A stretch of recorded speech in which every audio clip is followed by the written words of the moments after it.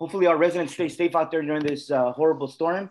Um, but we will uh, commence our um, our TAMC Board of Directors meeting, and we'll start with the quorum check. Uh, we, uh, do a roll call, Madam Clerk. Okay. Uh, District 1, Supervisor Alejo. Here. District 2, Supervisor Phillips. District 3, Supervisor Lopez. Here.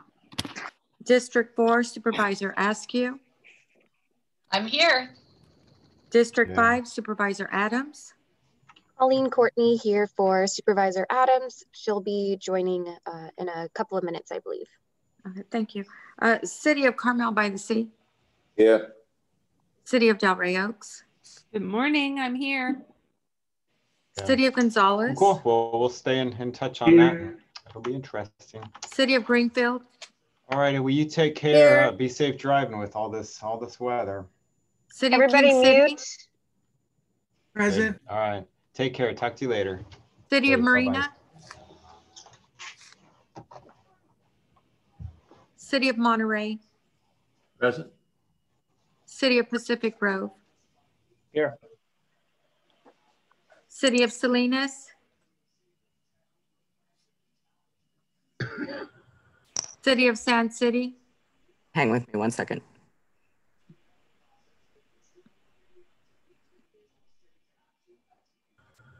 City of Salinas. Here. City of Sand City. City of Seaside. Here. City of Soledad. Here. AMBAG. Here. Caltrans District 5. Here.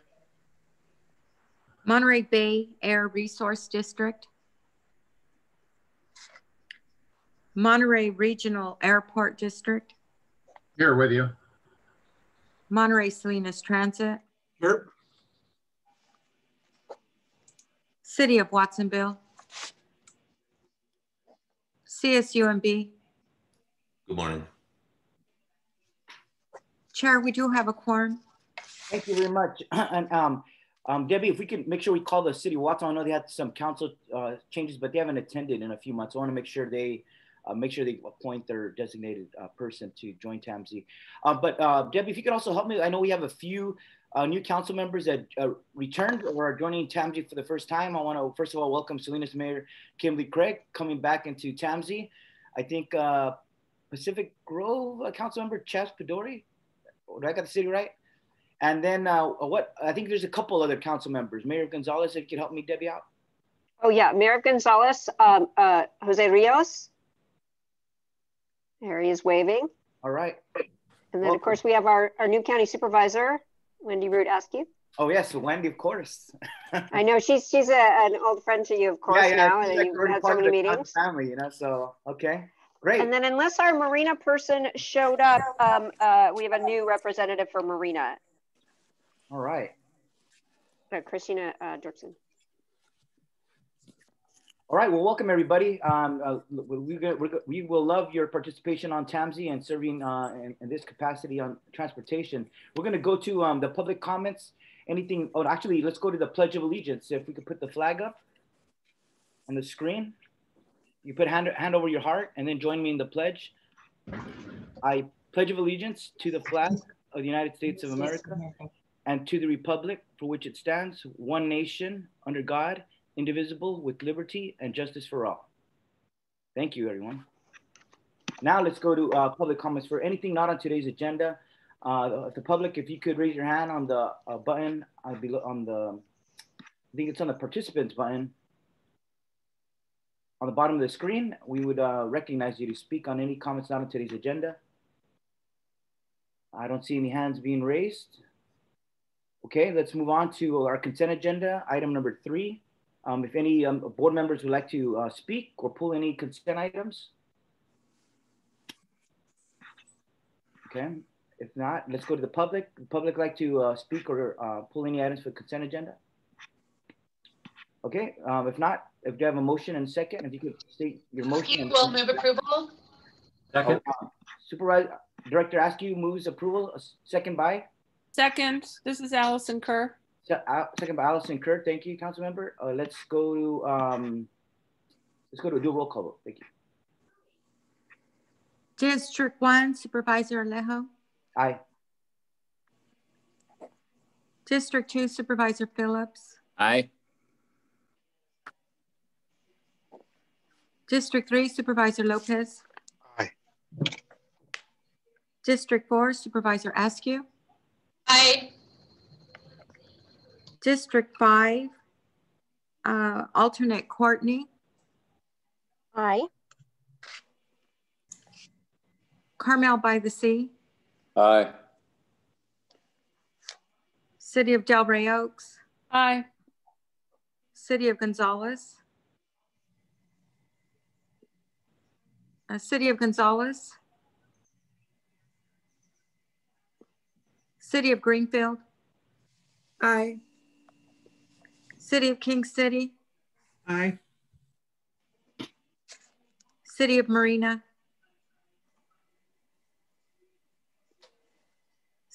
City of Monterey. Aye. City of Pacific Grove. Aye. City of Salinas. Yes. City of Sand City. City of Seaside.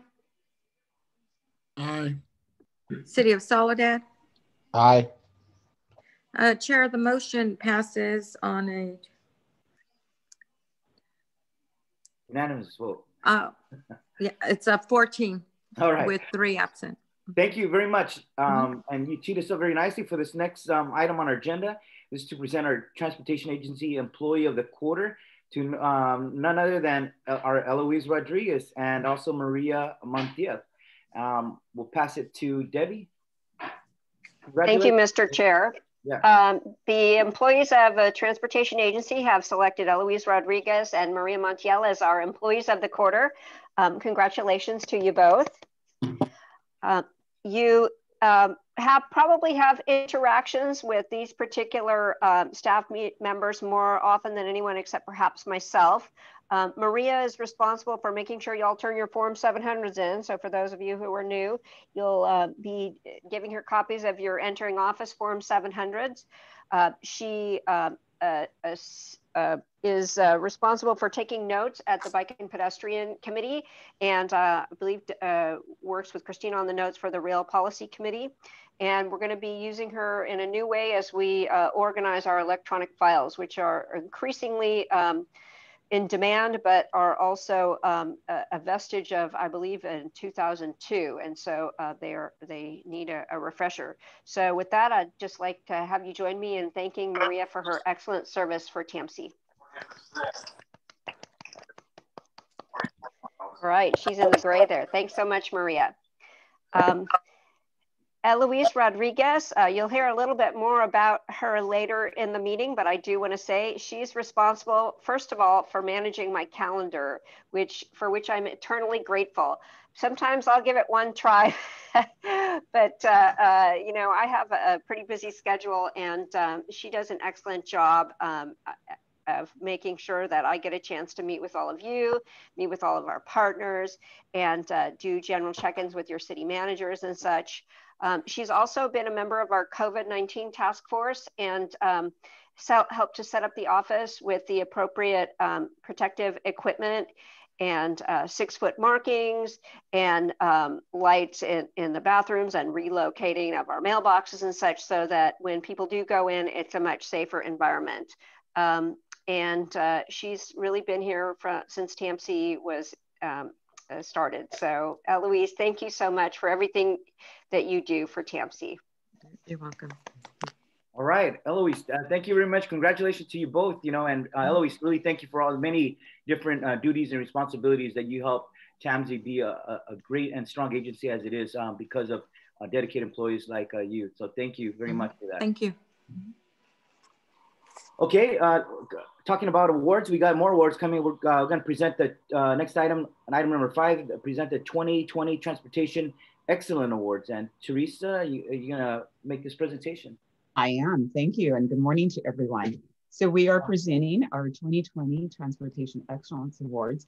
And as we get started, just a note that in the age of COVID, we have to transition back and forth between my presentation and then the recipient. So there will be a, a slight lag as we do that. So with that, let me uh, share my screen and we'll get the ceremony started.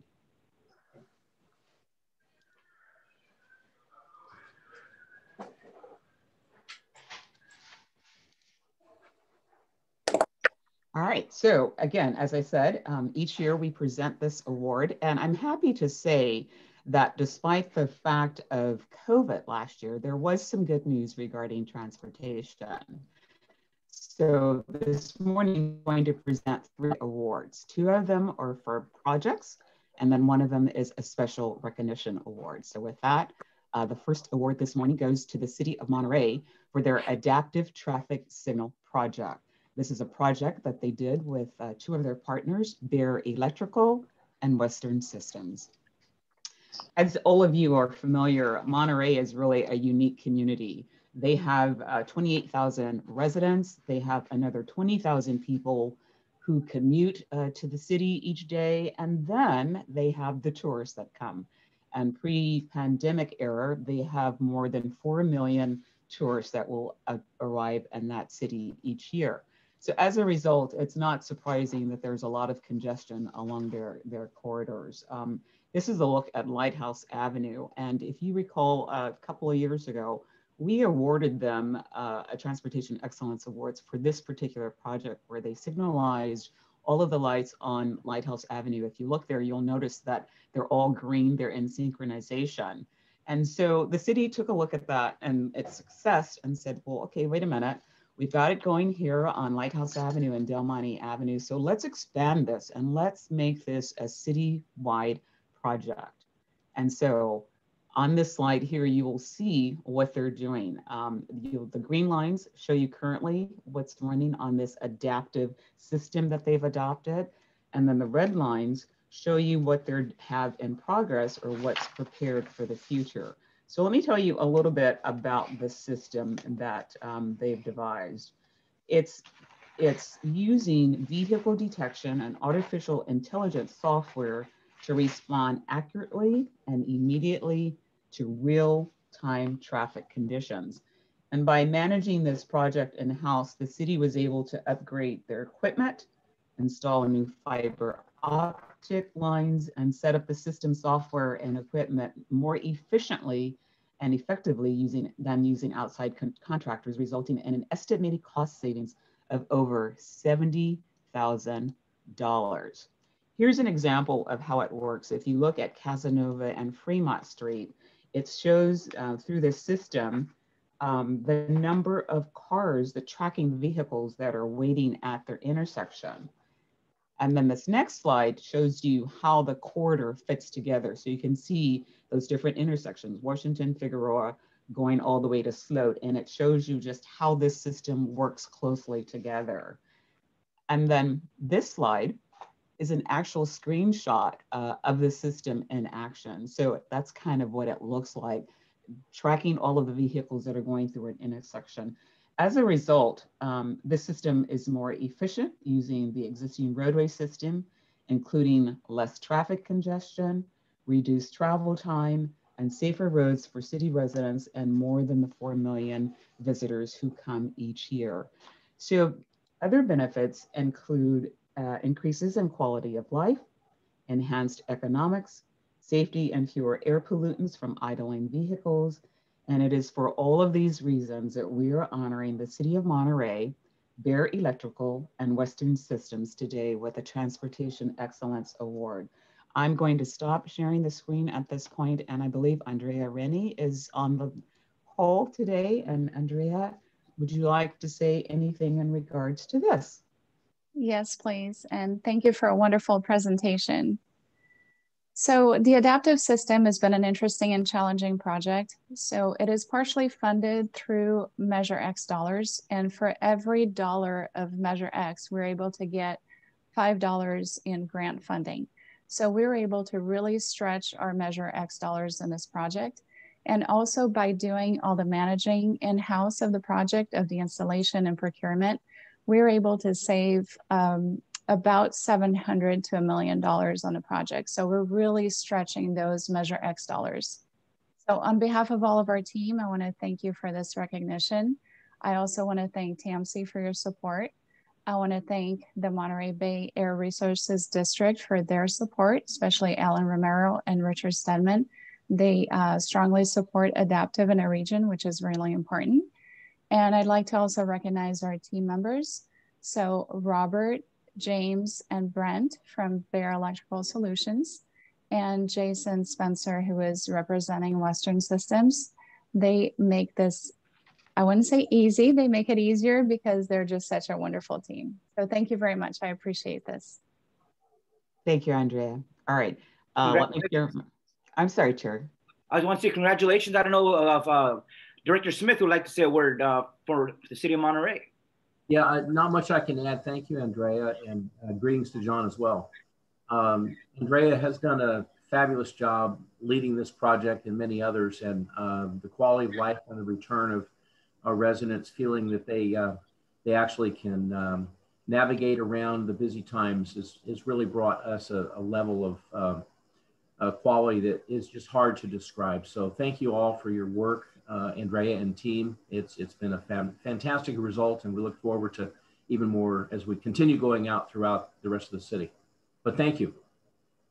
Great work, everyone. Back to Teresa. Okay, next one.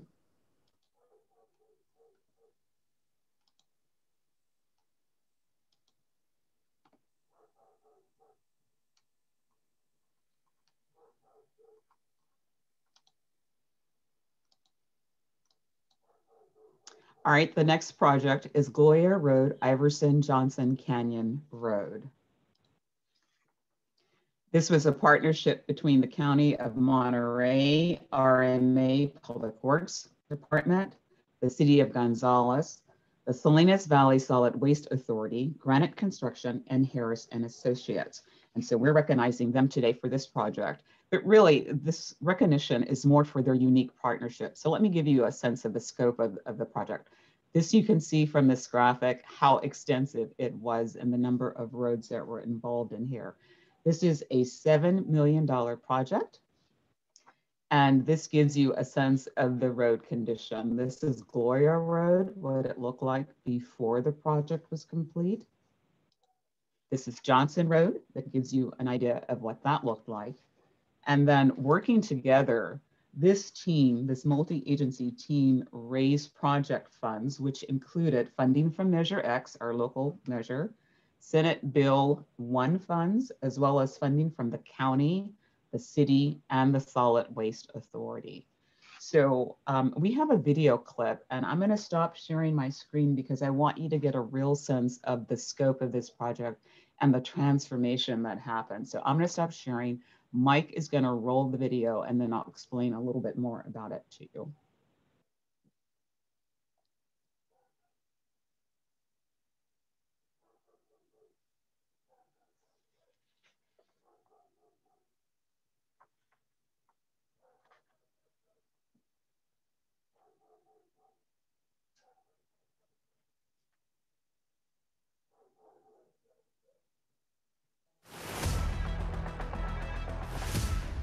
Okay, so by working together, this multi-agency team oversaw the design, the bidding, and the reconstruction of five miles of pavement along this critical access route to the regional landfill. Due to the close coordination among the partners, this project was completed ahead of schedule and under budget. And if you think about last year, there were a lot of challenges, right? COVID, we're still dealing with that. Um, they had challenges due to the summer heat wave. And then, of course, there was smoke from the Dolan fire. But despite all of that, this team persevered and um, they even ran into challenges with just trying to acquire construction equipment. But despite all of that, this team worked diligently together. They came in under budget and early. And so for those reasons, and you can see the beauty of what this road looks like now, right? Um, there's so many roads that we want to be able to look as good as this.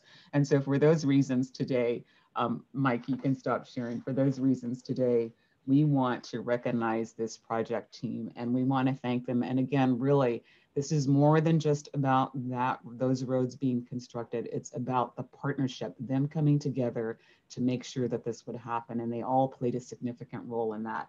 And so for that reason, um, I believe that I saw Enrique and I saw um, Billy on the line. I'm not sure who's speaking on behalf of the county, but I'm going to stop talking and let one of them uh, take the mic at this point. Yes, good morning. Um, this is Billy Isa. Um, was, I was one of the engineers on the project, and I have here in the room with me Enrique Saavedra and Jonathan Pasqua. Uh, we want to thank you very much for this uh, award. We're very humbled. Uh, this is great news for us as engineers. Bunch of nerds over here. We're proud of that. Um, this is uh, it was very challenging this project because, as we know, the pandemic and and then the fire. Um, I guess one key word that sums this whole project. It was a great team effort. We couldn't do it on our own. Um, we were very happy that the city Gonzales was helping, uh, Salinas Valley Solid Waste Authority, uh, the public, the farmers, everyone that got involved, including the uh, Harris and Associate, the designer, and not to mention also Granite Construction as the contractor.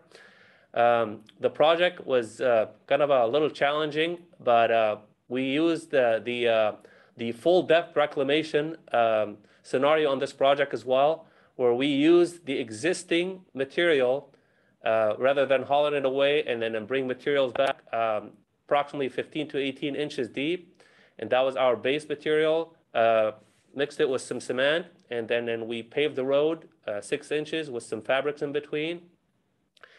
Um, it came out really good, um, under budget. Um, we were like about a month uh, ahead of time. Um, the public were very happy, specifically the Salinas Solid Waste Authority. They've been waiting for quite some time. We were very pleased with the outcome. We couldn't be happier.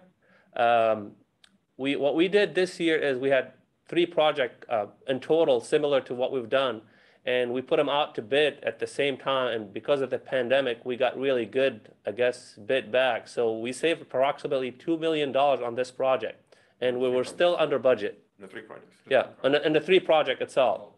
And so we were, again, we were very pleased of the outcome and we we're really looking forward to do more project like this, very successful. And we couldn't thank you very much for this wonderful award.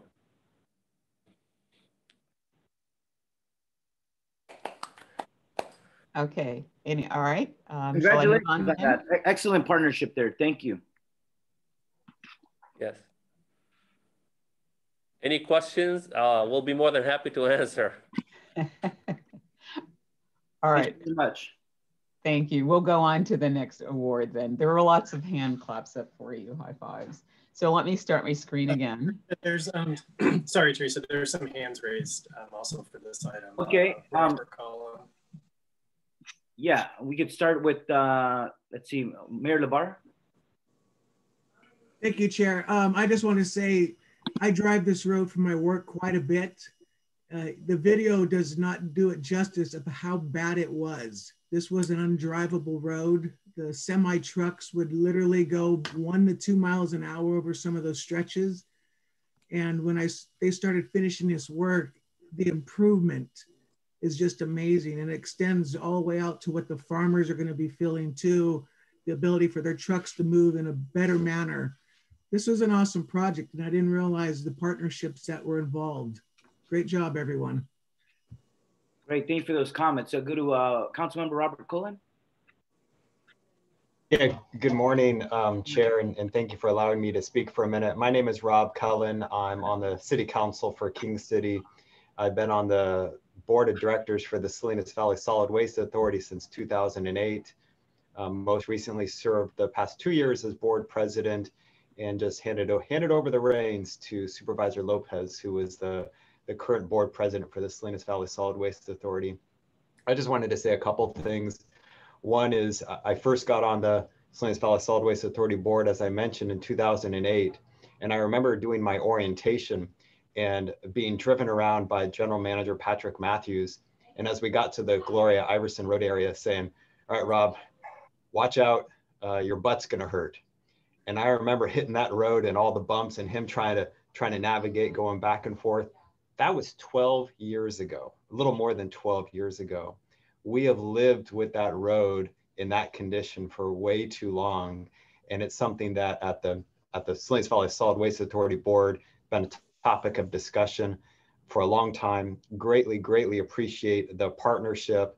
Boy, look, guys, there's a bunch of elected officials on this call. We had multiple organizations, bureaucratic organizations get involved and do a project that was under budget and on time. That is amazing. We, we all need to give ourselves a pat on the back and each other a pat on the back. Just a phenomenal example of a, a partnership. And I just want to give a sincere thank you to TMC, all of the board members and staff for recognizing all of the, the jurisdictions that were involved in this project to make it happen. So thank you again, and, and I appreciate it. Thank you, council member, for joining us and for sharing those uh, awesome words um, of, of, praise for this project. Thank you. Let's go to uh, um, Supervisor Lopez. So I'm actually on site here at the road. I want to just thank everybody who had a part in getting this done. Um, you know, for me, looking at this particular road and understanding what it meant to our community can't be understated. I remember coming out here as a staff member for Supervisor Salinas, who helped kick off this process years ago. And the person in front of me, I was actually filming the road with a camera in my car. They swerved off the road, preferring to use the dirt road on the side of our county road instead of our pavement. And so having this project complete is a huge, huge undertaking. And I want to congratulate all the partners, thank all the partners for making this happen. But more importantly, I want to acknowledge that the Solid Waste Authority also has created a budget set aside yeah, moving please. forward to partner in more projects like this moving forward. I think that's incredibly important. And I think one partner that was left off the list that I want to make sure that we thank is Jackson Family Wines. They dedicated some land at the turn to make it safer for the community. And so I want to make sure that they get some recognition for that contribution and partnership as well. But uh, thank you all for the opportunity and thank you, Mr. Chair. Congratulations and reporting live for KSBW, Chris Lopez. Thank you for that live report. Um, awesome. But let's go to uh, Supervisor Phillips.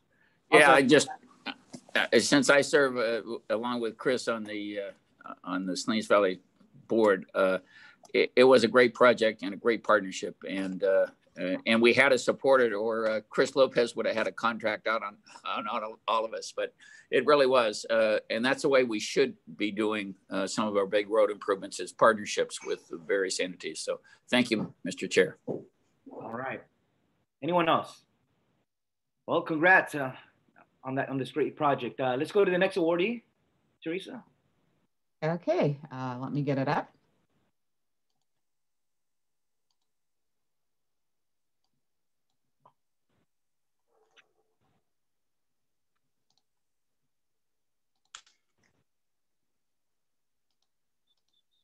All right, so this is a special award of recognition that we're really pleased to present today, and it's for Monterey Salinas Transit. So while challenged with declining ridership and revenues last year because of the pandemic, like just about everybody else being affected by it, Monterey Salinas Transit has maintained their commitment to service and excellence.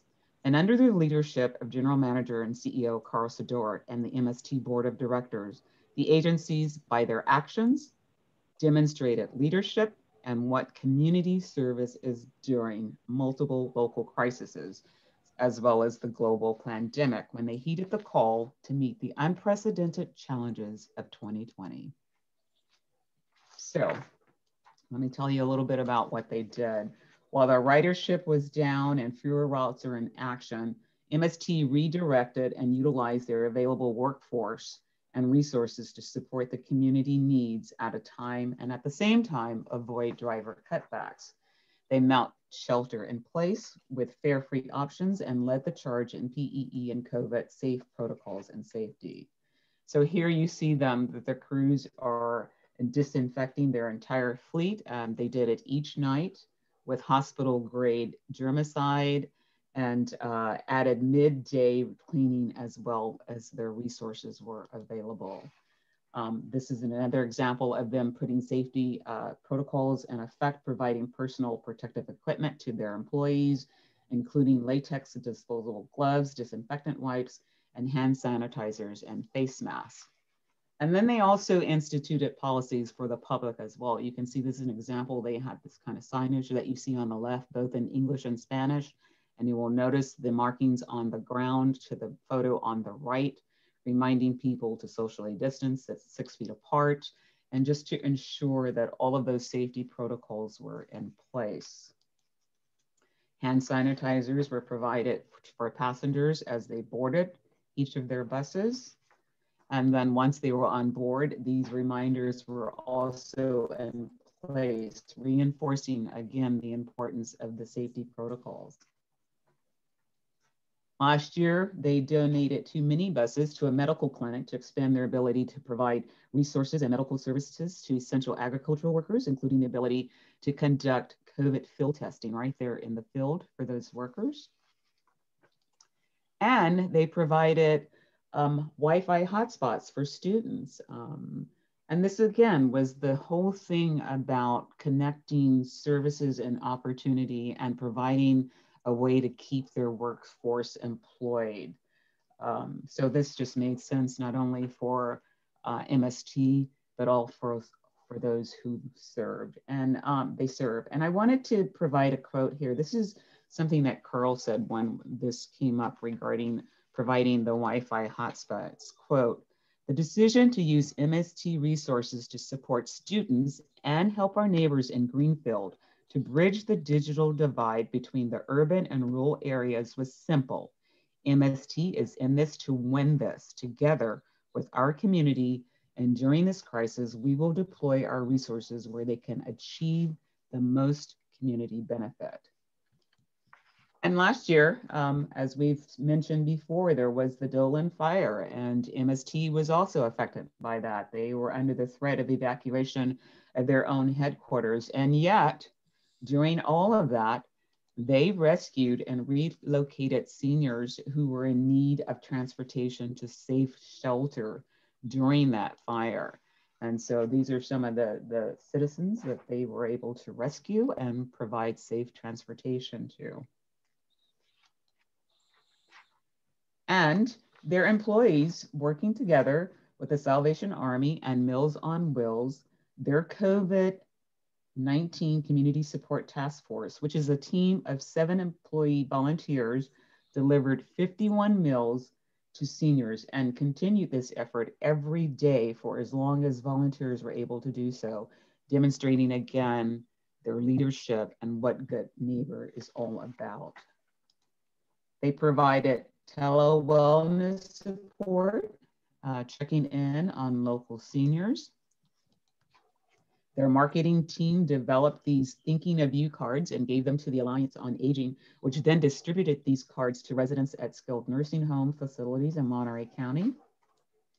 And as an organization, their employees had an internal fundraising drive to help support hospitality workers, again, demonstrating their heart and being in touch with who we are as a community in Monterey County. And this is just an, another example of them providing masks to the Center for Community Advocacy. And on election day, November 3rd, MST passengers could ride free so that their lack of transportation would not prevent them from being able to exercise their right to vote. And on December 1st, Passengers could also ride free in honor of Rosa Parks' birthday and recognition that she changed the course of history when she refused to give up her seat to a white passenger on a city bus in Montgomery, Alabama on December 1st, 1955. Her brave decision led to the Mon Montgomery bus boycott and ultimately the US Supreme Court ruling that public transportation bus segregation was unconstitutional. Now, despite all of this, MST did not lose sight of what their mission was, which is to provide essential transportation services. And so they made some significant changes and advancements last year. This is one of them. It is the contactless fare system. It is part of Caltrans California Integrated Travel Project, and MST was the only transit system in California selected to demonstrate this contactless fare payment system.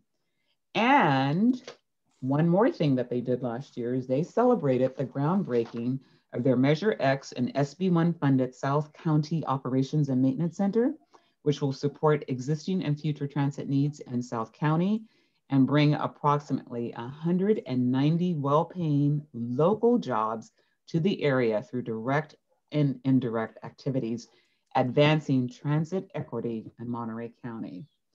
And it is that commitment to innovation and resiliency that earned MST a 2020 Transit Innovation and Resiliency Award from the California Transit Association Small Operators Committee. When they got that award, Carl's response was, continuing to provide essential transportation services while contributing to the recovery of the whole community is what MST has been focused on. And so for all of those reasons, we are here to recognize Monterey Salinas Transit with this special award of recognition. We believe that their leadership and service is truly commendable and deserves recognition for they have gone the extra mile and clearly demonstrated that they are driving the heart of Monterey County and have earned this award today. And with that, I'm going to end, stop sharing my screen. And uh, Chair, would you like to say anything yeah, before we? For sure. Um, before I to Carl to say some words, um, it really, this is one, one of those examples of even during hard times, uh, we had fires, we had the pandemic going on. Uh, MST really stepped up as a community leader to help in a lot of different ways, uh, from helping our youth uh, dealing with the digital divide and not having access in places like Greenfield to saving those seniors that were uh, shown in the photo, and then just protecting their employees, their employees stepping up and really um, trying to offer to help in a lot of different ways, uh, from rescuing those um, um, seniors, but also getting making it easier for people to get out and vote on election day. That was very commendable of them, and certainly uh, for the community, really um, seeing a day honoring civil rights and Rosa Parks' legacy that our transit agency is, is celebrating that with a free fare for our local residents. For me, that was just another, uh, it was another example and another um, thing to really be proud of, of this transit agency. So I've been proud to sit on their MST board of directors. They also put out a really nice, um, it looks like a laptop uh, report, um, but it gives all the highlights of all the work they did, but a great re annual report to the community about their accomplishments and their protection of residents on their buses, but also their dedicated employees. We got to keep them safe and keep those buses going uh, for those that depend on public transit. So I really want to thank you, Carl. Carl was the president of the California Transit Association last year. So he served on a statewide leadership basis. Um, so um, in many different ways, um, he's, uh, he has been a great leader, but also the agency has been a great leader uh, across our nation. So with that, Carl, thank you for your leadership and we'll pass it to you to say some words. Thank you. Thank you, Chair. Um, wow, listening to all that makes me understand why I'm so tired. I just, I'd like to thank, uh, you know, your leadership on our board as well as the rest of the MST board members. We have some uh, uh, on this uh, committee as well, colleague Mike LeBarre, who I can see. These are the folks I can see. Um, however, uh, uh, I'd like to thank them for trusting uh, our management team. I'd really like to thank our ATU local 1225 leadership and, and their members um, who we could not have done this without their uh, willing support to help the community. And um, just the uh, working in this community, everyone banding together um, and, and, and, and, and pulling together through this has been so helpful and, and very fulfilling. So I just really like to thank uh, all those who, who helped us help the community. So thank you very much. Uh, we can we can uh, we can do this. Thank you. You have a few folks uh, who want to say a few more words. Let's go to uh, Mayor LeBarre another. Uh, I just I just want to congratulate the MST family. Um, your success is because you treat us all as family, and I think that's the heart of public transit. So great job. Uh, okay, thank you, Mayor. Let's go to uh, Debbie, and then we'll go to Allison Kerr. Thank you, Mr. Chair. Um, one of the um, benefits, I should say, or silver linings of COVID is that I've actually been able to go to most of the MST board meetings.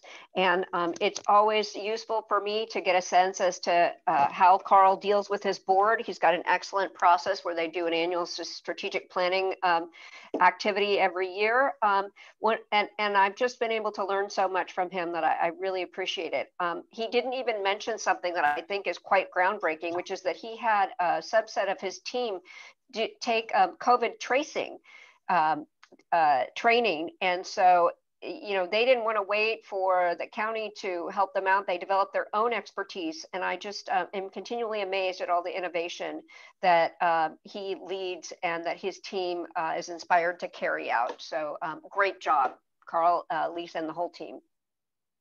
Thank you, Debbie, for those words. Uh, let's go to Mayor Kerr. Thanks. Um, I just want to say congratulations on the recognition, Carl. Um, it's amazing the amount of uh, programs you were able to do. And thank you for your compassionate leadership um, driving these thoughtful, community oriented policies. Um, and I'm proud to say uh, Carl lives in Del Rey Oaks. Right on. Okay, anyone else? Uh, thank you for those words, Mayor. And um, also, uh, Carl, thank you for also, uh, as an agency, uh, reaching out to all parts of the county and doing that groundbreaking in King City, a commitment to all, all corners of Monterey County and, and its people. So uh, applause for, for just being thoughtful in terms of your planning and where you extend services to. Um, thank you. Uh, if not, let's go. If there's no other comments, well, let's do it. One last round of applause for the three awardees. Thank you very much, everybody. Um, Let's move on to our next uh, agenda item. Excuse me, Chair. We have a couple, two more to do. Oh, okay. Sorry. That's okay. Let me uh, share my screen again. Jumping the gun here. Yeah, just a little bit. um, and so we wanted, this is the part where we get to the internal TAMC stuff. So let me um, show you the screen again. Oh, sorry, hang on.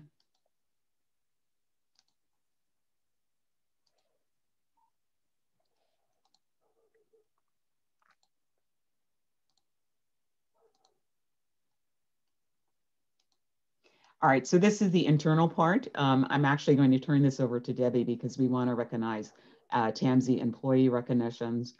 And the special honoree today is Eloise Rodriguez, who celebrates 20 years of service with TAMC. So Debbie, I'll turn this over to you and then you can do the next award as well. As well. So there's only a few of you who have been around since TAMC started, um, Mayor Potter, and um, and one of them is Eloise Rodriguez. Um, Eloise uh, celebrated her 20 year anniversary last year, so um, that would have put it in uh, in uh, two, 2000. I can't even say it. It's so, so long ago. We've gotten out of the habit of that. Eloise remembers um, and, and was there to help with the transition of our agency for when we were part of the County Public Works Department and our director was uh, the County Public Works Director, Gerald Gromko. Um, at the time, our deputy director was Dieta Nicely, um, and uh, she uh, kind of ran the office. But when it came to you know uh, managing board meetings and such, we were still a Department of County Public Works.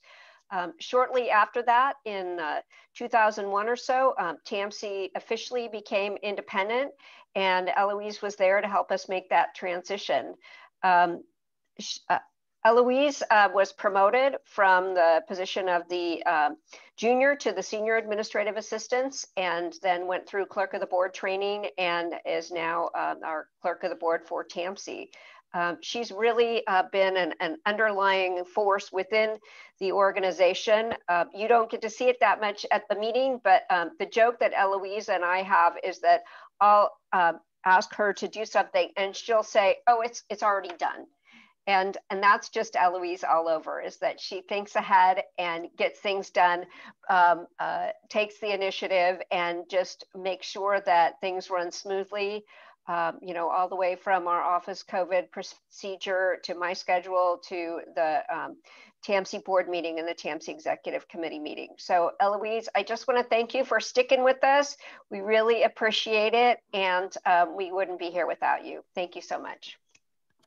Thank you.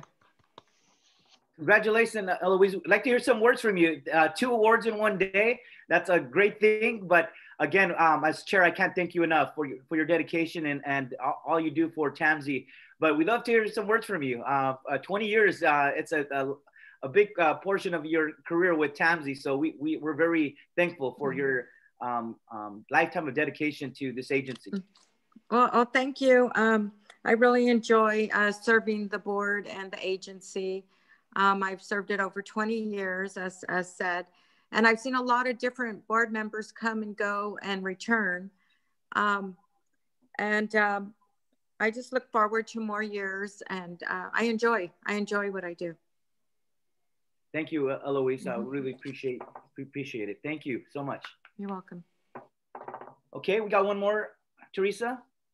Um, yes, we do. Debbie, do you want to do the uh, chair recognition at this point? Uh, you're muted, Debbie. I'm muted. All right. We are almost, but not quite, to the passing of the torch for the chair of the TAMC board. And um, I just want to thank uh, Chair Luis Alejo for his service over the past year. Um, Supervisor Alejo has had a, had a tough year with the passing of his father early in the year. Um, and uh, have, we've got a, a, whole new format going on here with COVID, transitioning the agency, transitioning all our committees, uh, uh, you know, transitioning our meetings and such. And, um, you know, those of you that have worked with him extensively know that he is, you know, super smart, super articulate, and knows how to move a meeting right along. And so it's really been a joy to work with him as chair. Um, he and I, uh, you know, we have our, our little texting back and forth. I hope you'll continue to send me articles uh, of interest. He always knows things ahead of time. You, you, those of you that know him know that about him, and he'll find things out uh, ahead of time, make sure that we're paying attention to the headlines, and um, is also super connected in the media. Uh, you know, teaching us about different things that we hadn't even known about. Uh, so really thank um, your proactiveness in being a chair, um, your enthusiasm, and uh, you know I'm sure the rest of the board appreciates the fact that you you run a very well organized meeting. So um, it's been great serving under you. Thank you so much. Thank, thank you, Debbie, for those kind words. And I just want to really thank all, all the staff. Um, those who have served as chair know that um, this staff, I think more than any other agency that I served on, really do a good job in preparing you. They make sure the meetings goes well because they give you about one or two meet, uh, meetings uh, to prep you even before the meeting begins. Um, so I really want to thank thank them all for their professionalism. They make this job easy. And uh, certainly want to thank um, Ed Smith that during this year that my father was sick, uh, he stepped in the first few months of uh, my chairmanship to run the meetings in person when I was uh, taking care of my father in Phoenix. So I really, that really meant a lot to me, Ed. So I really want to thank you for, for helping me out during this year. It's, it was a hard year, but to see um, our staff still work from home, uh, manage and, and uh, change up protocol so they could continue to deliver excellent service to the community for me, that was very commendable and really shows the strength of, of this team and, and, and their commitment to transportation in our county. We got um, a bill signed. We got $20 million recently for the Castroville project. Among many accomplishments this year, it wouldn't have happened without Debbie's and, and all her great team to getting these things done. So for my hats off to you. And I just want to say thank you for your, for your, your leadership. And uh, it was an honor serving as chair for this year. Thank you very much. If that's it, um, thank you for all the awardees and thank you for staff for putting. That's always nice to put a highlight on folks who have um, done great work in transportation in our county. Uh, we'll, we will now move on to item number six. This is the election of officers. Uh, we're going to just do a, a, brief report from the nominating committee that um, it, that would included uh, myself as outgoing chair and representing the city. Um, it was Angela Wintalon, council member for the city of Greenfield. I want to thank her for uh, joining me and um, um, putting up some names for next year, this coming year's leadership. Uh, thank you, Angela. And I believe um, we recommended that uh, coming um, to step over and pass the gavel as chair would be Ed Smith. Um, as first vice chair, uh, Mary Adams moving up. Uh, Mike LeBarre, um, mayor of uh, King City, would step up as second vice chair. And then serving on the board, I would continue as past chair. Uh, the county representative would be Supervisor Chris Lopez, and as a city representative, uh, Kimbley Craig got pulled back in to serve in that capacity, uh, representing the largest city on the Monterey Bay. Um, so with that, uh, we just, I think uh, if there's discussion, we, we need a, a, motion and a second, and then I could officially pass the, the virtual gavel to uh, Ed Smith here. Um, so any comment from anybody, and then we'll take some public comment before we vote on a motion. See no comments from, I see no comments from the board, but I see an iPhone that has, no, maybe not. Um, um, comments from the public? See none? Okay, we'll go to uh, Director Smith. Yeah, I'm just going to, um, you know, wrap this up with comments uh, to say as we as we vote on this and and move forward with the, uh, the new year in 2021 with the new board. I'm glad you're still, uh, you know, you'll be around as the the past chair. That's great. I just wanted to say thank you. You've done an outstanding job. And uh, three things come to mind: uh, spectacular hats that we uh, look forward to seeing. Um, and as Debbie has already mentioned, the speed of, of running the meeting, uh, that's great. And your hats. And then also, um, you're always a clear communicator. And, uh, you know, especially those hats get in the way and they're always there. We look forward to seeing what hat's there. So I'm very disappointed I don't see a hat today, but the tie looks good. But uh, don't don't expect a tie from me every every meeting. I've kind of grown uh, grown to not look forward to having to put the tie on. But those hats and you're you're running your meeting. You've done an outstanding job, Chair. And Luis, uh, you had a spectacular year. When you look at the accomplishments um, with staff and TAMC, it's been a phenomenal year under your leadership. So thank you. You've done a fabulous job. Thank you, sir. Really appreciate your kind words. Thank you. Um, if I see no further comments, if we could take a, a motion to approve that slate of uh, incoming officers uh, and board members. Supervisor, I, uh, I apologize. I'm jumping in. I had my hand raised oh, over there. Sorry, sorry. Uh, That's Mary. okay. Um, I just wanted to say, first of all, it's an honor just to be nominated. Um, but then also, uh, I'm super excited to be back on TAMC and really appreciate the nomination to be on the exec committee. I have a huge passion for transportation, obviously with all the work that we're doing down at the train station. Very grateful for the opportunity. Thank you. Thank you. And thank you for mentioning that. Um, the train station, uh, that's one of those issues that you really championed for a long time, and we want to keep that project uh, moving forward. So uh, I know you're going to put your energy and enthusiasm to make sure that happens. Thank you. Okay. Um, do, do we have somebody make a motion? And a yeah, will make a motion. Okay, moved by uh, Director Askew, second by? Phillips. Okay, uh, by uh, Director Phillips. Um, uh, let's do a roll call vote. There's been a motion second. Roll call vote, please. District 1, Supervisor Alejo. Aye. District 2, Supervisor Phillips. Aye. District 3, Supervisor Lopez.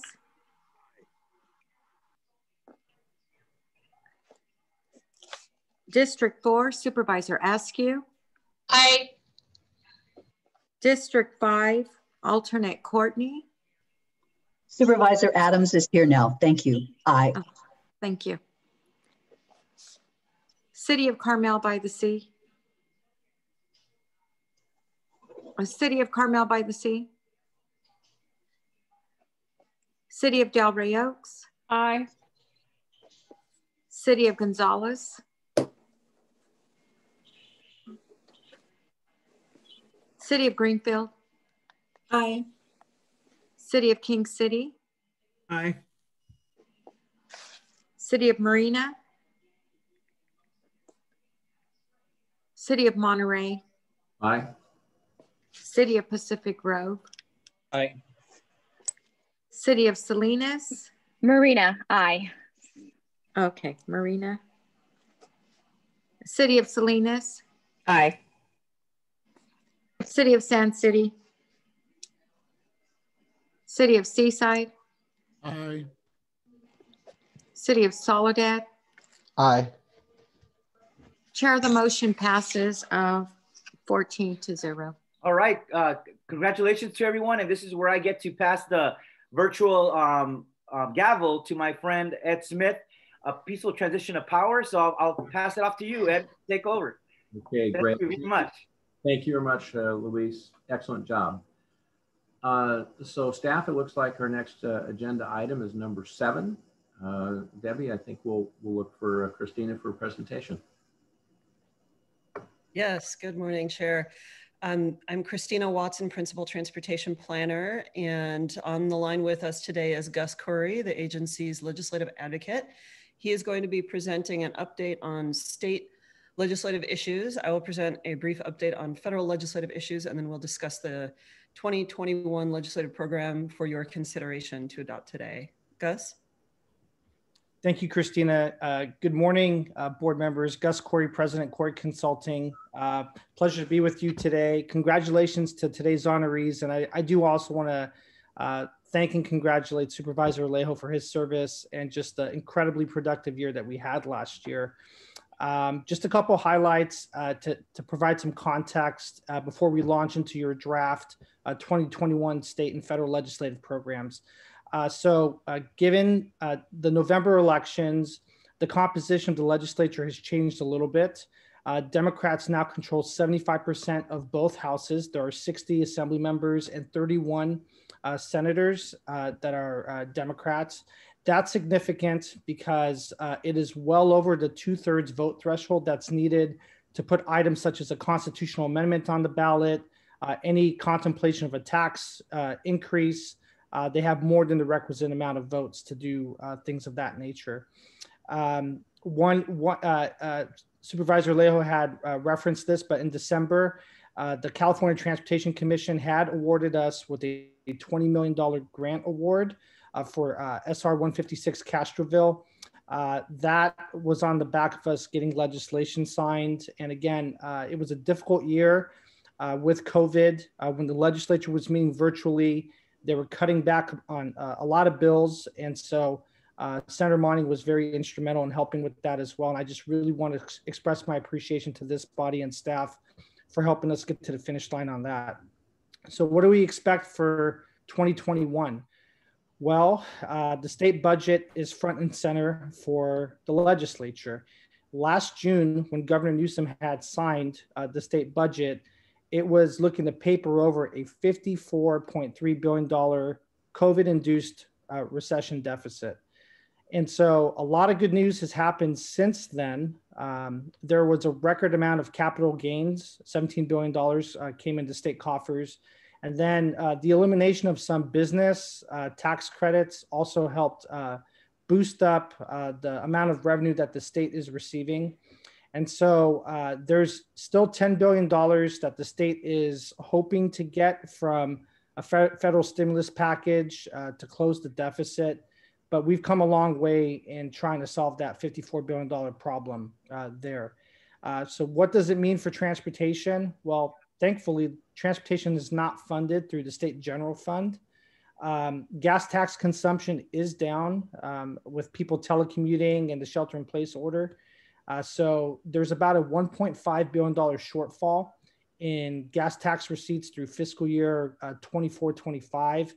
And uh, without any kind of corrective action, the state actually has about a $7.5 billion deficit for fiscal year 22 23, and it goes up to 11 billion in fiscal year 24 25.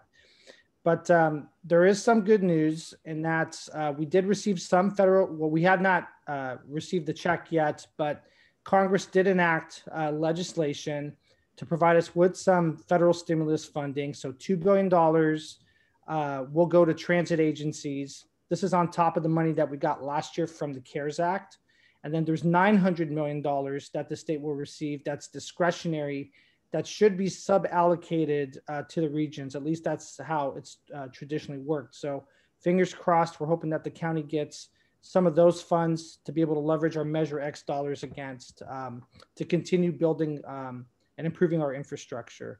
Uh, there was also uh, $4.5 billion that was uh, in the governor's budget for economic stimulus, if you will. $1.5 billion of that goes towards investments into uh, zero emission infrastructure. So a billion for more charging stations up and down the state highway system um, and other places, and then half a billion dollars for incentives for uh, constituents to be able to purchase uh, electric vehicles. And um, this is another thing that I want to commend um, Supervisor Alejo on and Supervisor Lopez. Uh, we've had robust conversations about the need to uh, help drive down greenhouse gas emissions, uh, but that it has to be done in an equitable fashion.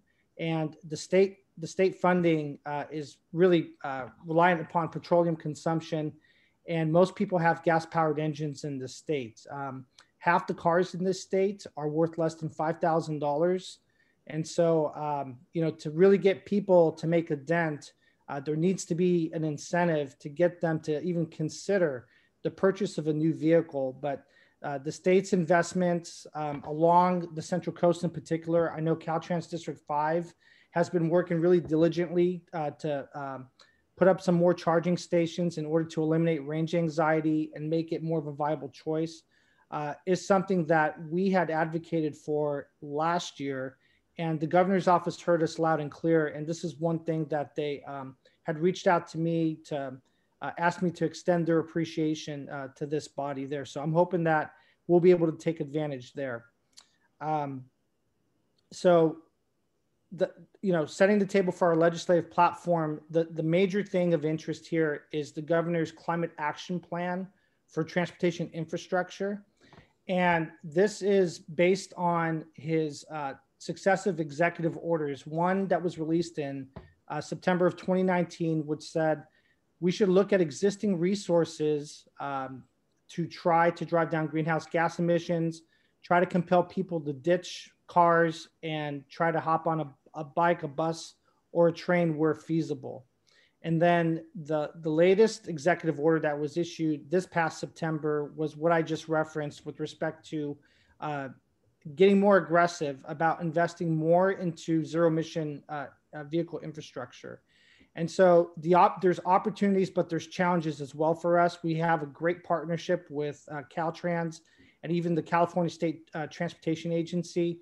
But we want to make sure that given the constant drumbeat that's been voiced by this body, that um, there are a lot of underserved communities here, and we want to make sure that they don't get left behind, especially as we wean ourselves off of our uh, dependence on petroleum and consider other alternative funding sources that um, the access to state funding uh, will remain there because that's critical in order to leverage again our measure X dollars uh, to deliver on these projects. And we've been pretty successful over the last few cycles of acquiring funding, and so we want to maintain that relationship. And so. Uh, with that, um, I'll turn it over to, uh, to Christina to go through uh, the legislative platform. Okay, thank you, Gus. Um, so just real quick, uh, federal legislative news, a lot, of course, is in flux right now in DC, including transportation issues. Um, so just focusing in on that, it looks uh, based on the hearings yesterday that Mayor Pete Buttigieg or former Mayor Pete Buttigieg is likely to be confirmed as the Secretary of the Department of Transportation. And uh, his platform includes supporting uh, Vision Zero, which is pedestrian bicycle safety concerns, um, those kinds of, of, programs that we've talked about at this board previously. Um, he supports transit funding for more rural and smaller areas, um, smaller populated areas. He supports complete streets projects and um, has also talked about uh, the potential for raising the gas tax, although he walked back those comments, and then also the uh, potential for implementing a national um, vehicle registration fee alternative to the gas tax. So I think uh, we're all very um, interested to see how this develops and how things move forward with their proposed um, intensive investment in EV, EV technology and um, electric vehicle technology and, and, infrastructure, along with our state's support for that. So that could be a big booming area for us soon. Um, also, our uh, new president supports rail, uh, famously, and specifically has spoken in support of the California High Speed Rail Project. And they're looking to tie transportation investments to efforts to correct and atone for past racial inequities in transportation funding and implementation. So there's a lot going on and we're gonna keep watching it and we'll be back to um, present any, any updates to you um, in the future. So um, if no one has any questions about the state or federal updates, I can move on to present the draft 2021 legislative program for your consideration today. Uh, so we'll ask the board. I don't see any hands raised. Christina, I think we're ready. Okay. Are you able to see my screen right now? I think we can. Yes. Okay, great. Thank you. So our proposed 2021 uh, legislative program was presented to this board back in October after a brainstorming session at the executive committee. It was then circulated to our various committees. We have a bicycle pedestrian committee, technical advisory committee, rail policy committee. We talked about it with the county and MST partners uh, pursuing uh, collaborative transportation efforts in our legislative programs. And uh, it, we also worked with our partner agencies statewide to make sure that we were reflecting issues that everybody is concerned about. Um, there are a lot of things that are holdovers from previous years because they haven't been resolved yet. Um, there are a few, we did have a success. Um, our past chair mentioned that our bill that Senator Monning authored for us did uh, get signed into law that enabled the Highway 156 project to move forward and secure funding. So that was a, a big success in 2020 on our legislative program. looking ahead for our state priorities, we want to preserve funding uh, for transportation and uh, pursue competitive grant or bond funding for our various transportation priority projects. We are interested in promoting jobs, housing balance, and alternative transportation modes as a way to reduce vehicle mile traveled. Um, and we have a big concern throughout this program of maintaining statewide equity between urban and rural areas. Uh, here is our EV item relevant to both the state and federal uh, efforts on this issue. So we support funding for uh, electric vehicle charging infrastructure, electric power storage capacity, and rebates for electric vehicle purchase. Um, 5S re relates to the issue that Gus raised about the decreasing purchasing power of the gas tax and the fact that in 2020 uh, gas tax income was was much reduced uh, compared to prior years due to the shelter in place orders across the state. So we're looking at alternative um, alternative funding mechanisms for transportation investments. And we're not taking a position on, on which, but just uh, helping to explore all the various concepts that are being proposed. Item 6S is uh, supporting funding to increase broadband infrastructure capacity. This is a new item for us uh, due to the pandemic and shelter in place and, and a lot of Zoom meetings. it really became very obvious that there's uh, inequity in broadband access. And uh, trying to bridge the digital divide and um, tying it to the telecommuting as a way to reduce vehicle miles traveled to make it relevant for transportation. Um, 7S has to do with uh, the rail project on the Central Coast. We have a couple of different rail projects, so that's not what I'm here to talk about today, but we support those rail projects um, in our legislative program by um, working with the state transportation agency to fund them. Um, item 8S, uh, public-private partnership, uh, partnership authority expired a few years ago, so we're supporting the reauthorization of, of that uh, as one of the modes for project implementation. Item 9S, support legislation to increase safety and reduce fatalities. And this is the Vision Zero effort that uh, the city of Monterey in particular and, and, others across our region are looking at to try to reduce uh, fatalities on our, on our roadways. Uh, 10S is supporting legislation to devote more funding to the very much oversubscribed active transportation program. We've gotten a few grants from that program, but it is uh, very a very popular program. So it's always uh, crossing our fingers when we apply. Um, 11S has to do with uh, making it easier to deliver projects. So there's a lot of uh, different sort of uh, barriers to project delivery that we're looking to uh, simplify. Item 12S is working with our partners at MST to update the law that governs how trans transit gets funded, called the Transportation Development Act or TDA. Item 13S is helping MST to get funding to implement the 100% zero emission bus fleet rule by 2040, which seems like it might be a ways off, but there's they have a, um, a, a milestone requirements between now and 2040 that they need to achieve uh, to, to meet the, the deadlines. uh, item 4S is promoting transit-oriented development, complete streets, and other um, multimodal transportation efforts. 15S has to do, again, with the COVID pandemic, uh, reforming the Brown Act to enhance transparency and public access to allow the, the continued use of remote access to public meetings past the emergency situation that we're currently in. And then 16S is something that where we just support our partner agencies as long as they're consistent with our adopted priorities. On to the federal program. I still don't, don't see any hands raised, so I will continue on. Um, the federal priorities, there are quite a few related to funding. so 1F is all about funding. Um, we have supporting funding for MST to restore pre-COVID-19 service levels. Uh, this language was provided to us by MST. We, um, item two is supporting the increase and or indexing the gas tax to inflation. It hasn't been raised since the 1990s. Uh, through item three is the same as what we have on the state level regarding um, other funding mechanisms for transportation. Item four is expanding access to Transportation Infrastructure Finance and Innovation Act loans that are very challenging to get now.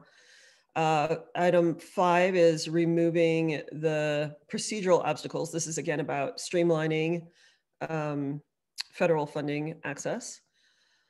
Item six is supporting the return of directed federal funding for transportation priorities, which is something that has been discussed quite a bit lately at the federal level. It was something that we were successful in getting back when they used to do that. Um, item seven is something that came from the executive committee coordinating with military installations in Monterey County as uh, public-private partnerships to seek funding for transportation with nexus to those installations. Um, item eight is supporting Monterey Salinas Transit's application for federal funding for the bus line and the Monterey Branch Line corridor called the SURF. Item nine is supporting applications for the build grant, uh, which is better utilizing investments to leverage development, which might be renamed shortly. Um, we have no one on the Central Coast has ever been successful in getting a build grant yet. So we keep trying. Um, and finally, item 10 here is supporting funding for resilient infrastructure projects. That's in response to climate change impacts on our infrastructure, for example, sea level rise or wildfires. And then we have uh, a few more items on the federal program allowing the California Environmental Quality Act, which is in most cases more stringent than the National Environmental Policy Act to be a substitute for that. And item 3F has to do with the broadband and internet access issue uh, from the federal perspective. Item 4F has to do with federal rail funding. There's a silos between commuter funding and, and intercity rail funding that make no sense to the traveling public. And um, item 5S has to do with supporting Amtrak funding and especially restoring their service to pre-COVID 19 service levels. We have one Amtrak train that comes through Monterey County, the Coast Starlight, which was reduced from a one daily round trip to a thrice weekly uh, schedule, which is very confusing. and then finally, 6F is our supporting our friends. Um, and I'm happy to take any questions.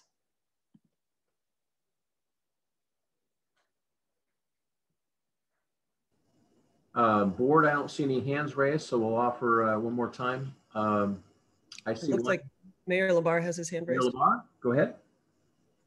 Um, I just want to thank TAMC and the board and the other committees. Um, I think we have a well-rounded um, set of priorities. And um, as you mentioned earlier, with the focus of the new administration and some of the talk coming out from the soon-to-be Secretary of Transportation, we're very well suited uh, moving forward on the disadvantage and the equity issues while having all these plans in place. And um, I do want to thank the executive committee for um, a couple of things that I really were passionate about getting into our priorities was looking at those alternative or innovative methods of permanent funding mechanisms for infrastructure and then um, adding the server farm into the state portion for the, the equity of the broadband and the ability to reduce vehicle miles traveled through telecommuting. Thank you, everyone. Great. Thanks, Mike. Uh, I see a hand raised. Uh, Luis? Yeah, uh, thank you, um, Mr. Chair. I do want to just comment and, and, thank the staff and on this board for also prioritizing the, the digital divide issue um, because I think the pandemic is going to change the way uh, people uh, work and certainly on the impact on our kids and seeing that so many of our kids did not have the basic necessities of access to internet so they could just do their virtual classrooms as limited as, as they are um, already. Um, it's worse when you can't even uh, connect uh, or a household has multiple children trying to access it and not having the bandwidth to be able to have uh, the virtual streaming of their classrooms. So I think um, I think this effort we're going we're going to see a significant effort not only at the federal level. Um, uh, President Biden already has has uh, um, committed um, uh, billions of dollars towards addressing this issue, but I think at the statewide level we, we are we're, we are looking to put a multi-billion dollar bond uh, to hopefully address this issue once and for all in our state. I think the governor is open to it the leadership in the assembly and the senate are open to it. And this is one of those issues where TAMC could really be a leader in terms of uh, with the transportation uh, perspective on addressing this equity issue of the digital divide. So i think uh, this, this is something i look forward to on uh, to working on but also uh, the california state association of counties has made this a priority. And uh, we look forward to um, being part of the conversations that will happen this year on, on on, on the bond and on other pieces of legislation that are, are addressing this issue. Thank you Okay, thank you.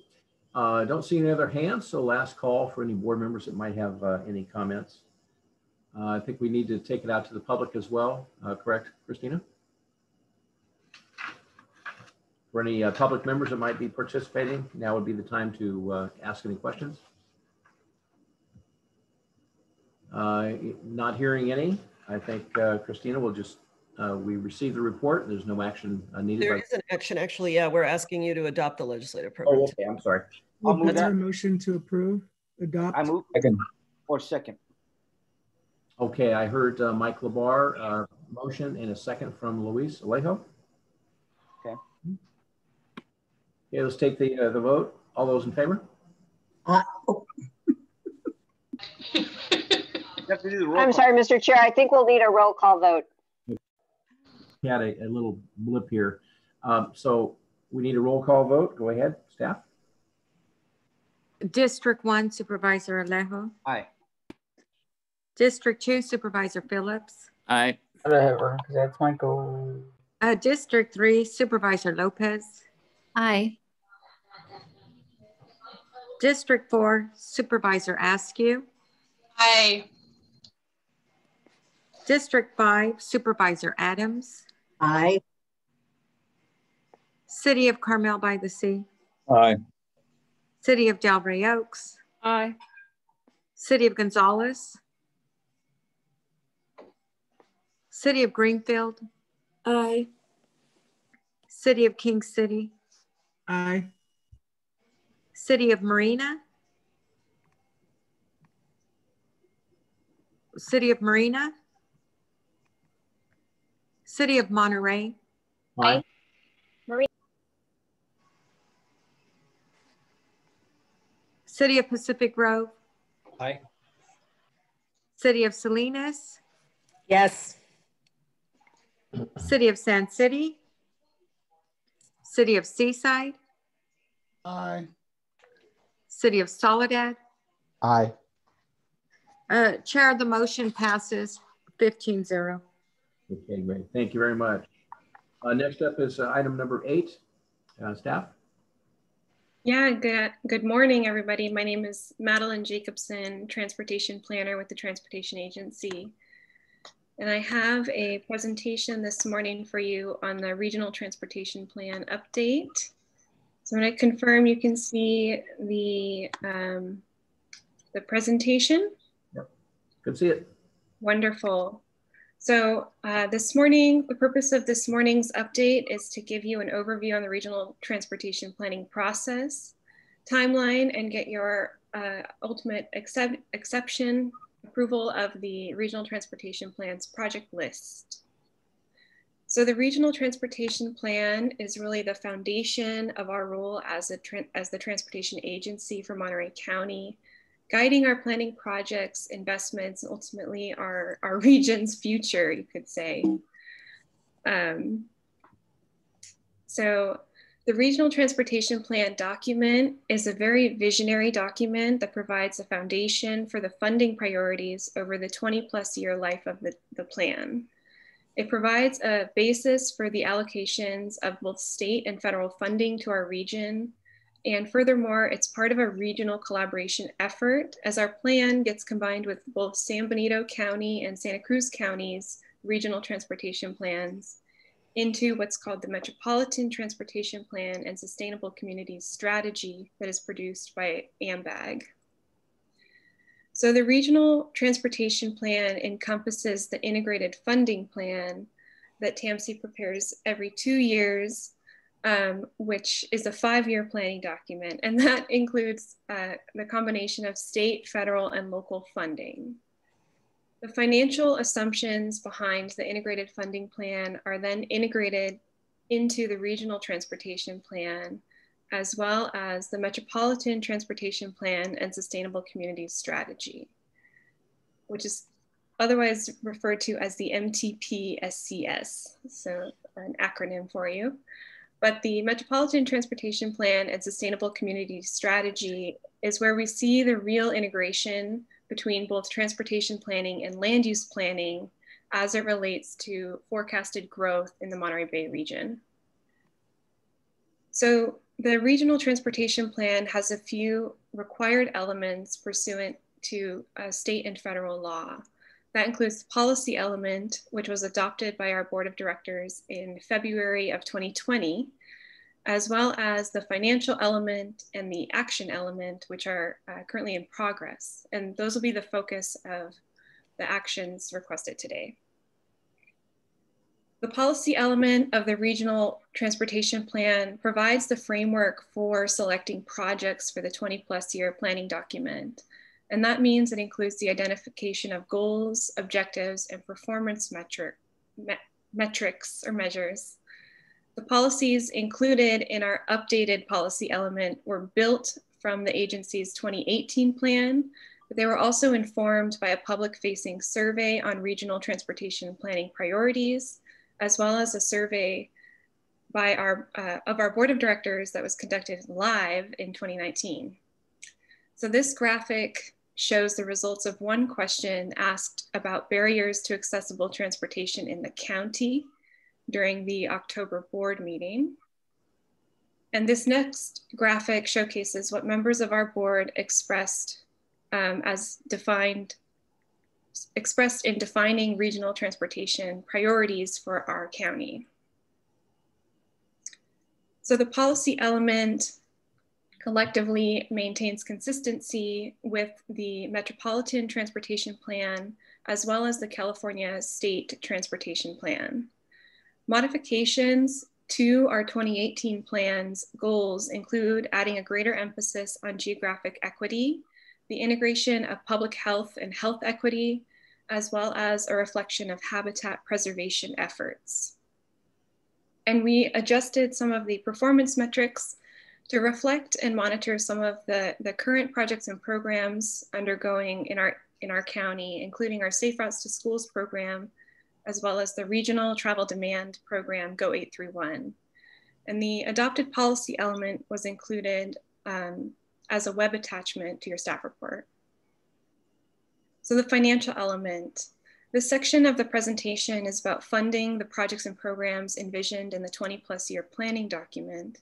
And it was a major focus of the year 2020. It included adjustments to the financial projections as we um, at staff coordinated with our jurisdictions and monitored the state's projections of Senate Bill 1 funding and the impacts of the COVID-19 pandemic on our, our funding forecast. So this diagram shows you revenues by overall fund source, with about 50% of the projected revenues being local funds. So of course, an example of one of our main local fund sources is Measure X. And an example of a Senate uh, state funding source is Senate Bill 1 funds, uh, or often referred to as the gas tax. And an example of the federal fund source are those administered through the US Department of Transportation, including a handful of Federal Transit Administration fund programs that fund uh, our transit agency. So current revenue assumptions show uh, $6.7 billion projected over the life of the 20 plus year planning document. But important to note that federal guidance allows our agency to identify revenues that we can reasonably expect to be available over the horizon of the plan. So in that case, this uh, projection could include a replacement to the gas tax, such as a vehicle miles traveled fee. So this slide shows revenues limited by project type. So of the $6.7 billion that we identified, a large portion of it is restricted to certain project types. But there is a, about three, $462 million dollars that is uh, flexible funding that's not specifically tied to a particular project type or funding program. So the project lists. Um, any project that a city anticipates receiving state or federal funding for has to be identified in the project list. So in our region, we divide the projects into four uh, corridors, being the North Monterey County Gateways, the Salinas to Monterey Corridor, the Inland Salinas Valley Corridor, and the Coastal Corridor and State Route 1. So throughout the plan, projects are referenced in two primary ways. One is as a non-regional or a local project, and as well as regionally significant projects, such as those identified in Measure X. Before I really showcase the uh, changes to our project list, um, I wanna dive into what I mean when I refer to a project being on a constrained list versus an unconstrained project. So projects that are identified to be on the constrained project list are those that are deemed financially feasible. They already have committed or programmed funds, or the agency reasonably anticipates receiving funding, such as through a grant program. Projects identified on the unconstrained list are those that do not have any programmed or committed funds and are not likely to be fully funded within the 20 year life of the plan. So for this morning's presentation, I'm gonna focus on highlighting changes from our 2018 Regional Transportation Plan as uh, to the 2022 Regional Transportation Plan. So not every single project will be covered in the presentation, but it was attached, um, the regionally significant project list was attached to your staff report. So here's a big picture funding summary of fiscally constrained projects by general project type. And so the chart shows that about 50% of the project types are highway or local roadway projects, and about the other 50% are public transit, such as the rail projects or MST's projects and active transportation efforts. And the purple there uh, showing the other category is mostly airport projects. However, categorizing project by project type isn't so simple when it comes to the regional transportation plan. There are multiple ways that bicycle and pedestrian projects in particular are showcased throughout the document. And so one is um, in and of themselves as a regionally significant regional bike ped project, such as the Fort Ord Regional Trail and Greenway, or as an element of a greater regional roadway project, such as the State Route 156 Castroville Boulevard interchange, which included elements of bicycle and pedestrian safety as, as within the project scope, and thirdly, uh, bicycle and pedestrian projects are seen on the individual city or county project list where cities identify more discreetly plans for bicycle and pedestrian improvements, such as a specific facility for bikes on a specific roadway. And in the context of the regionally significant project list, those more local project listings are considered grouped. And so their summary numbers are at the bottom of the regionally significant project list. So here I go into the uh, changes to the constrained project list. So most of the proposed changes to the fiscally constrained project list reflect the removal of projects that are not moving forward and breaking out phases of larger regional projects. So we do not show any totally brand new projects this year. So first, the State Route 218 Operational Improvement Project. This project was identified to be removed from the unconstrained list to the fiscally constrained list for the 2022 plan. The US 101 South of Salinas Improvement Project had various elements independently listed within the Regional Transportation Plan, and it's now been consolidated as one project. The scenic State Route 68 corridor improvements also had various elements included in the previous regional transportation plan, and it also has a revised description and a consolidated listing in the 2022 plan. The Fort Ord Regional Trail and Greenway project now has a handful of individual phases identified that are either actively pursuing construction funds.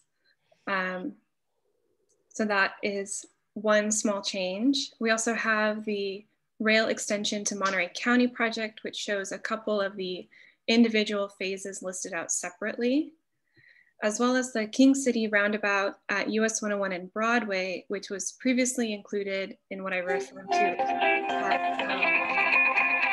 um, listings, uh, but it's now shown on the regionally significant project list.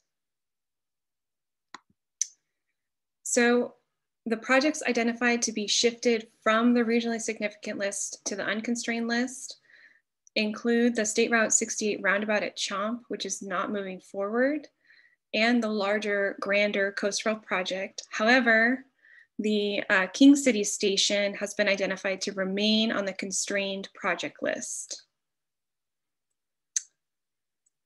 So to transition now to the fiscally unconstrained project list, um, changes to the regionally significant unconstrained project list largely reflect brand new projects that are coming out of planning studies and the removal of projects that are just not moving forward.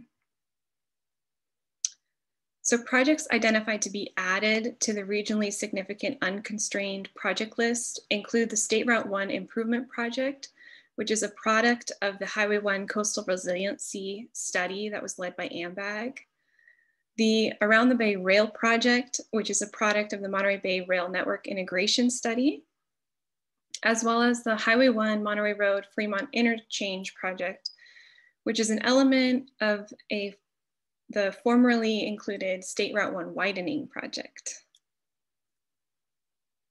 And as I just mentioned, so the State Route 1 widening project is one of those identified to be removed from the regionally significant unconstrained project list.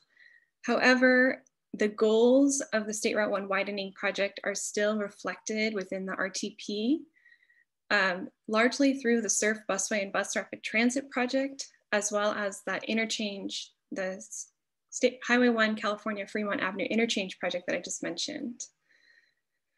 The State Route 68 bypasser widening project was historically listed unconstrained with no committed uh, funds and it has been identified to be removed from the unconstrained project list due to a lack of funding. The State Route 68, State Route 1 overcrossing project is no longer moving forward, so it's also been identified to be removed from the unconstrained list.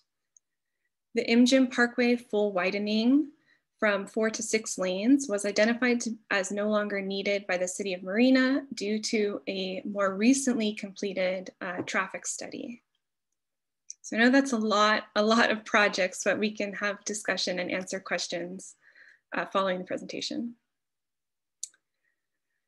So collectively, the action element of the plan is the component of the document where projects are identified and those that align with the policy objectives and performance measures are prioritized for funding within the 20-year horizon of the planning document. As far as next steps go, in 2020, we did have the adoption of the goals, policy objectives, and performance measures, as well as staff in coordination with our partner agencies and the jurisdictions updated the project list and the program cost. The uh, 2021 items include adoption of the project list for uh, analysis in the Regional Transportation Plan, Metropolitan Transportation Plan and Sustainable Community Strategy. And in December, the TAMC board can expect to receive the full draft regional transportation plan and open it for formal public comment. And in June 2022, the board will receive the uh, final regional transportation plan and the uh, joint CEQA findings from the document. Yes, 2020 is done. So for this morning, the recommended actions I have before you are receiving an update on the development of the 2022 Regional Transportation Plan and approving the project list to be studied as part of the 2022 Regional Transportation Plan and Metropolitan Transportation Plan and Sustainable Communities Strategy, and approve the financial assumptions for use in the financial forecast for the Regional Transportation Plan and Metropolitan Transportation Plan and Sustainable Communities Strategy. So with that, um, this is my contact information and um, we can open it up to questions and discussion. And I also have my colleague Mike Zeller who helped lead the financial side of the uh, presentation.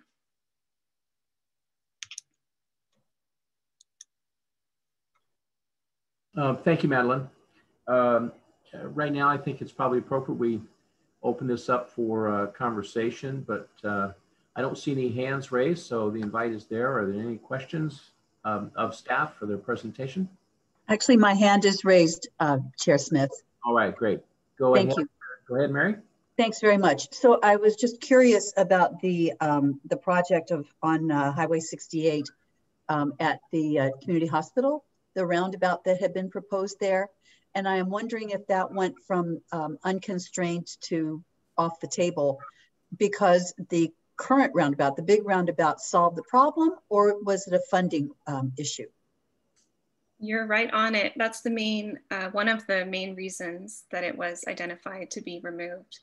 Which one? The funding or the, because it took care, we took care of the problem with the man with the magic roundabout. The magic of the roundabout took care of the problem. Okay, great. Um, Thank you so much. That's mm -hmm. good. Thanks. Uh, next up, uh, let's go to uh, Chaps Poduri. You have a question? Thank you, thank you, Chair. Um, Madeline, and thank you for the excellent presentation, especially for folks like me who are just joining. Um, the uh, I had a question. Uh, you, you, mentioned the the projects get uh, removed off the unconstrained list. Um, uh, where do they go after that? They basically, um, when they're removed from the unconstrained project list, they can always eventually be brought back um, because we update the document every four years. But when they're removed from the unconstrained project list, they're uh, essentially, I don't know the best way to put it, uh, removed from the, the vision of the long-term plan. So um, okay, and so it, it takes a um, and uh, like for me to bring it back, um, is it is the plan the process for bringing any such project back in the future? Yes. Okay. All right. Thank you. Great. Thank you, uh, uh, John. Uh, John, let's go ahead and go to you. Thank you, Mr. Chair. And I just wanted to express appreciation uh, to Madeline and the whole TAMC team. We've been able to work with them on the development of the RTP list and project. And it, it reflects uh, a good vision for the county and it reflects what we support, you know, as a project list. Projects that needed to be added have been added. Those that needed to be moved to unconstrained or obsoleted, those have been like, like for example, the one that was highlighted of interest is the uh, State Route 68 bypass uh, that historical project is something that's it's good to take it off the unconstrained list. It's something we ourselves at Caltrans are pursuing um, dissolving the series of memorandums that we have with the different cities in the county on that. So that that's that's the right move and the right step as well. And it also the list also reflects um, projects of significance that support reduction of vehicle miles traveled because that's an important thing as well as we all try to implement our transportation projects as well as land, land use projects. So we're, we're glad to see the list where it's at and we've enjoyed working with staff and the TAC in developing it. Thank you. Uh, Mayor LeBarre. Thank you, Chair. Um, the roundabout project in King City, I just want to point out how important that is that a small rural community is implementing these these new mechanisms and for the board to know King City has one light stop. This roundabout will remove that light stop. So that's kind of an interesting thing for us. It is a it's been a frustrating intersection and this project is going to make it better for all of our lives. Thank you. Great, thank you, Mayor. Uh, I don't see any other hands. Staff, do you see any uh, hands that we have not picked up? I do not. Okay, great. I think uh, we should turn this out to the public and see if there's any comments from public.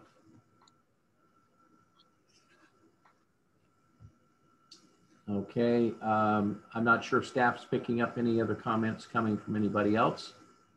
Okay, at this time, uh, we'll turn to the board. We'll entertain a motion and we're looking at a motion consolidated of one, two, and three staff recommendations.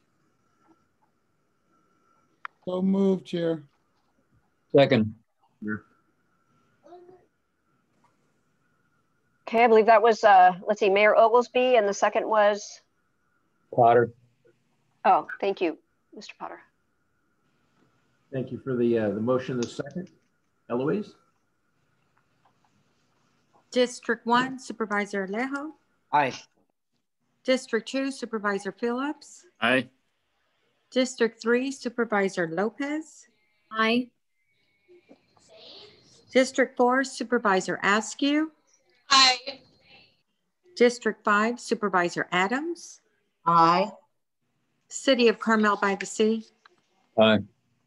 City of Del Rey Oaks. Aye. City of Gonzales. City of Greenfield. Aye. City of King City. Aye. City of Marina. Aye. City of Monterey. Aye. City of Pacific Grove. Aye. City of Salinas. Yes. City of Sand City. City of Seaside. Aye. City of Soledad. Aye. Chair, the motion passes 16 to 0. Okay, great. Thank you very much. Uh, this next item is uh, number nine, uh, reports from transportation providers. Uh, first on the list, I think is Caltrans. Th thank you. Uh, well, uh, glad to be here again. My name is John Olejnik from Caltrans District 5 on behalf of our district director uh, to present our project report, which you have in your packet, as well as just make a few uh, brief comments. Obviously, with the stormy conditions, uh, our crew, our maintenance crews are busy from one end of the district to the other, trying to keep the road safe for the traveling public. Just wanted to mention that our, our Transportation Management Center, our TMC, is open 24 hours right now to help uh, mo monitor activities going on throughout the district. But events like this bring to mind the importance of keeping informed. So just re reminding everyone of, in addition to our press releases that we send out regularly as things happen, uh, we also have our district's uh, Facebook account and Twitter. And so it, that, in addition to our Quick Map app, are some of the best ways to communicate and, and to know what's going on coming from Caltrans. So if uh, you don't happen to have any of those uh, attached to, to your devices, uh, we'd be glad to assist you with that. Also wanted to uh, mention that uh, going to our just general announcements, uh, part of under our news release, since I mentioned the news release, part of the activity going on with the storm event obviously is the potential evacuations. So we have Highway 1 closed right now, working with Monterey County on that.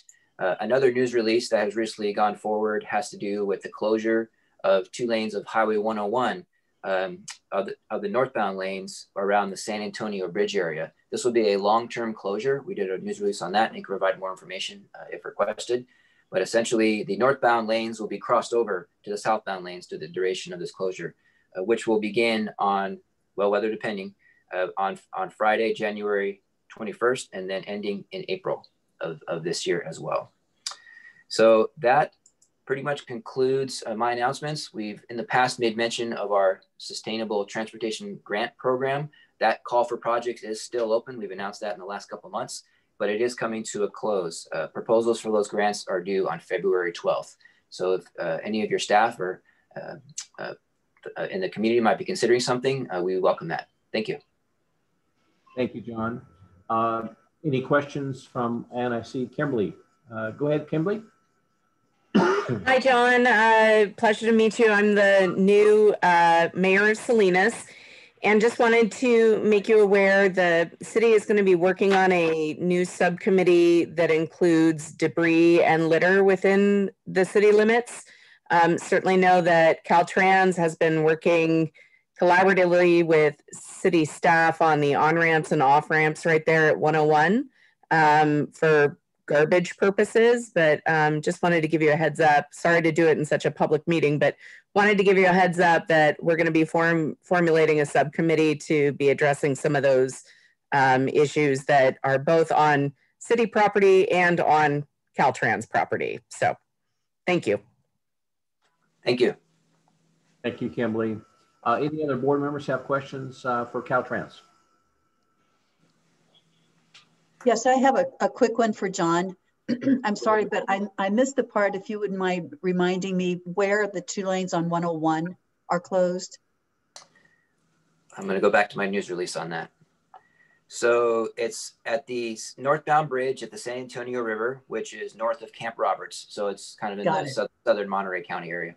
Thank you so much. You bet. Okay, any other questions for Caltrans? Uh, seeing none, let's go to our next partner at Monterey Peninsula Airport. Bill? Uh, thank you, Chair. Uh, appreciate the opportunity, as always, to, to speak. Um, the the airport has several uh, projects uh, that we've approved and have started uh, underway, and uh, they're bringing a lot of jobs to the area, and that's dealing with taxiways and um, aprons and service roads. So that's a good thing for us. And uh, in our, our particular stressful financial times, bringing in employment to the area is is always a good thing, and we're pr- kind of proud of that. Um, and it's an enhancement to the airport as well. Um, as far as service, uh, service uh, airline service to the airport, which a lot of people are interested in, uh, in December we had no cancellations, and that's always been a complaint of uh, many of the the the county residents here. And so we had no cancellations. We've done a good job, partly due to the, the good weather. Uh, we've restored service to Denver and Los Angeles uh, with United. Uh, they're suffering under the uh, diminished uh, um, passenger counts, but they're bringing service back to those uh, two cities, which is vital to us. And um, they're also were they we've had a delay in the service start to Seattle. Uh, that's not gone away, but Alaska is is mindful of uh, the people that a number of people that are traveling, and they delayed that for ab- about two months. But they're still going to plan on having service to Seattle, and uh, Allegiant Airlines will be starting uh, twice a, a, week service to Portland uh, out of Monterey. Uh, and that's a that's a that's a good thing for us here. And um, uh, we'll be offering one of the things I'm kind of proud of for the airport is uh, our in combination with our fuel provider, uh, our fuel FBO, we'll be providing uh, starting to provide uh, sustainable fuel for jet aircraft. this is a new program a, a, new fuel alternative which will allow us to reduce um, emissions from aircraft, uh, jet aircraft, by up to 80%. So uh, it have, will have a great impact on CO2 uh, emission reduction. And uh, that's going to start and be phased in over the next couple of years at the airport. That's a huge step forward. And uh, uh, we, uh, for those who are uh, are familiar with the Golden Tee and were fans of the Golden Tee, uh, which is the restaurant at the airport, uh, it's been replaced by Woody's at the airport uh, under the guidance of Tim Wood, who used to be the chef over at Carmel Valley Ranch. And um, he's getting excellent reviews over there, and they've restarted service, uh, at least pickup service. And I understand that the feedback is that the meals are excellent. And so uh, if you're you're in the business of picking up a meal, uh, try that airport, and I'm sure that uh, outside services will be available when the weather improves. And finally, um, we are at the airport starting to take a strong interest, and I want to bring this to the attention of the whole board and, and the planners into urban air mobility. This is the um, manned and unmanned uh, electric vehicles. Uh, air, the, some of them look like helicopters, some don't, but it's going to have an impact in the future. It's becoming huge.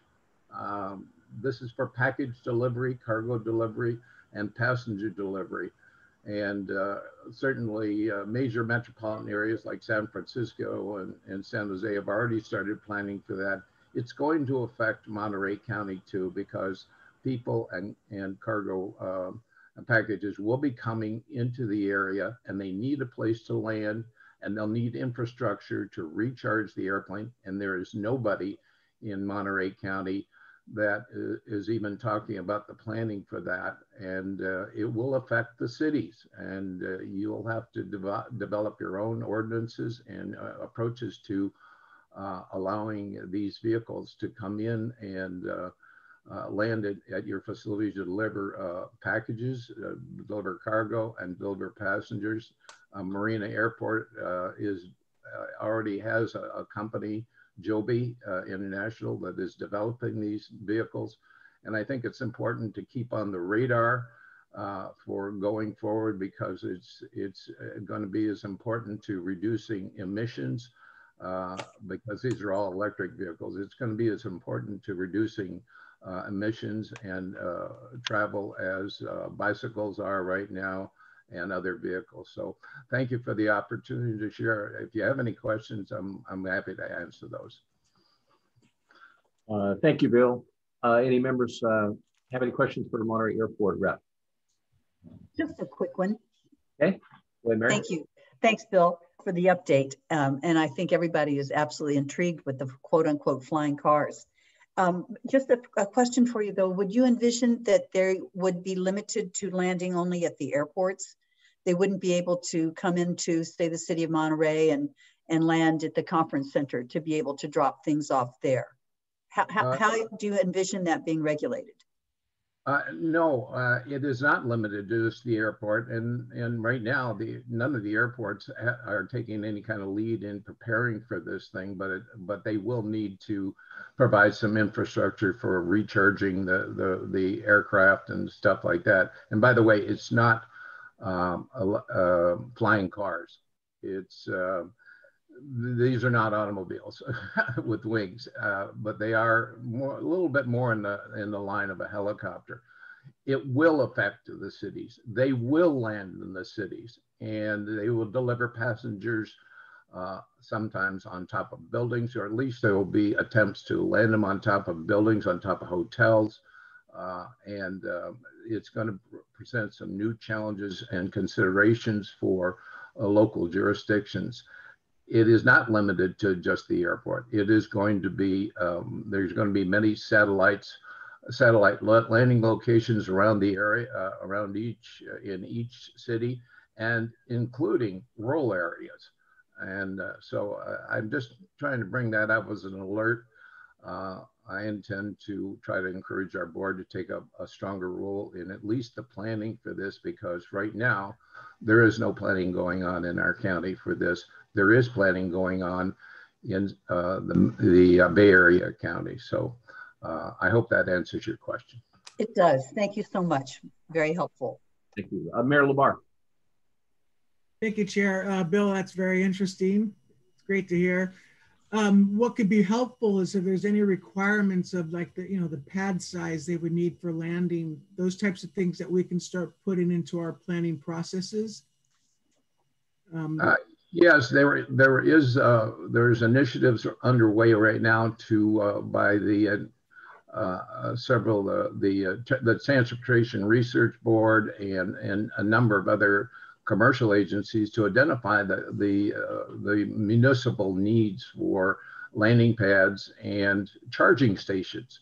Um, that's the other aspect of this thing is, is that's often overlooked is you got to re recharge these vehicles and having enough uh, grid capacity to do that and having uh, charging capacity in in the city itself is going to be um, represent some considerations for future planning.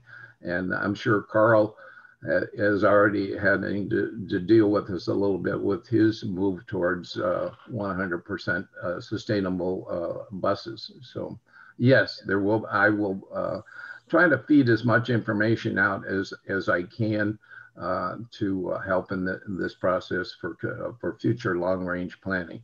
And it, it is, it is I want what I want to emphasize, I guess, is it's moved out of the realm of science fiction into reality. And there's a lot of money going into this, huge dollars going into this thing. And it's got a lot of federal support from the FAA, but they are not taking a lead position. And if there's some, you know, since we have an airport in King City, if there's um, any opportunity for me to be involved in any discussions, or please keep me in the loop. Um, I do know at our at our airport, we just went through a planning stage, a master planning, and we did um, at least locate some areas that could be used for the charging infrastructure and started identifying those things. But any way I could stay involved, I appreciate. Thank you, Bill. Thank you, Chair. You're welcome. I will do that. I can see a future time when uh, Mayor LeBarre is going to be arriving at our meetings in Salinas uh, by air. A battery operated, of course. Okay, I'm not seeing any other questions here. Uh, Bill, thank you very much. Uh, let's turn to our partner, uh, MST. Carl? Thank you, Chair. Uh, a few items to discuss, um, and thanks again for uh, rec the recognition uh, for all our efforts during the, the past year coming up on now.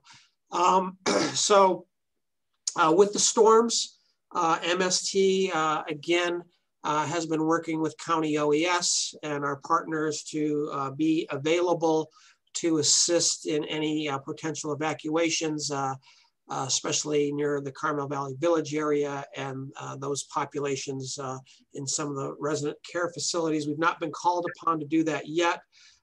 just an interesting note, we did use some recently deployed software that we used during the fires to identify uh, exact locations of residents with access and functional needs who are our MST rides clients, persons with severe disabilities. Um, and uh, we identified about a dozen or so persons in the evacuation area uh, in and around the uh, river fire region.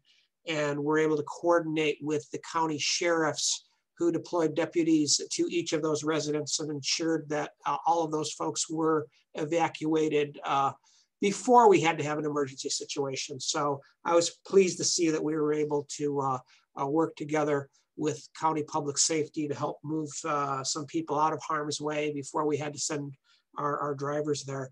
Um, in addition to that, I just want to bring you all up to speed on a couple of projects that are going on with MST. Our, you heard uh, earlier about our surf busway project and there have been some presentations and we've been doing a lot of outreach working with TAMC staff on this and we are now um, uh, taking it up to the next level and we are putting out a survey that you can find on our website at mst.org where we're asking community members who whether they're planning to ride or or even if they're not planning to ride the surf what sort of transit amenities um, and features that they would like to see uh, and what outcomes they would like to achieve with this project so that we can uh, continue to move through the design process and, and get as much public input uh, and reflect the will of the, of the public as much as possible here in Monterey County.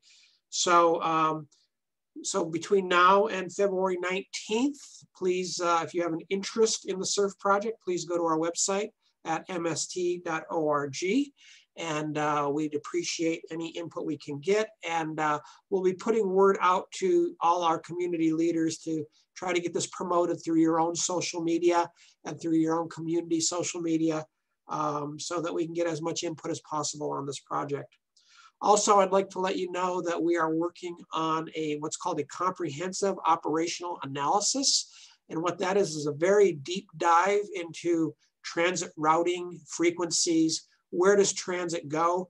And we're trying to uh, rebuild uh, and what will our services look like uh, post-COVID and into the future. So we'll be reaching out to all of our member communities and to all of our stakeholders, including you.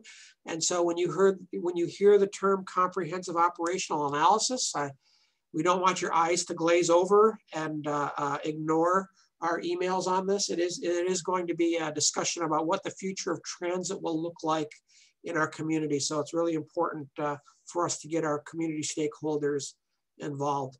And then finally, I just like to express some disappointment. We received some news yesterday that um, the governor um, and state public health officials removed public transit workers from the tier two of, uh, actually removed the entirety of tier two from the vaccination plans. And uh, as you heard earlier, MST uh, staff have been on the front lines every day, uh, all day, every day, whether it was Thanksgiving Day, Christmas Day, New Year's Day, since the beginning of this. Uh, we're closing in on a million passengers carried since the beginning of the shelter in place. Um, and I'll be reaching out to our Monterey County health officer. I, have reached out earlier uh, and have been in regular county um, contact with our health officer to get our frontline employees, our drivers and our, our, our frontline supervisors who are working with the public every day. Um, and like I said, who had contact with, uh, uh, uh, we're closing in on a million right now by the end of this month. Um, uh, just individual passengers. Uh, we'd like to see them afforded the same protections as other essential workers in our community. Um, so we're going to be, uh, uh, I'm going to be advocating for that portion of our workforce uh, to be included back in and be given some priority to uh, receive this vaccination. So that concludes my report. Be happy to answer any questions.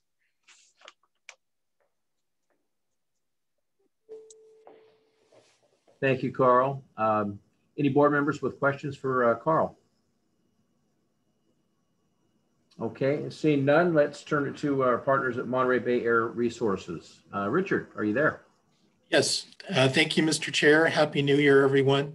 Um, some good news, bad news. Uh, good news is we um, have been really going like gangbusters with our EV incentive program. Uh, the bad news is we've run out of funds due to the popularity of the program.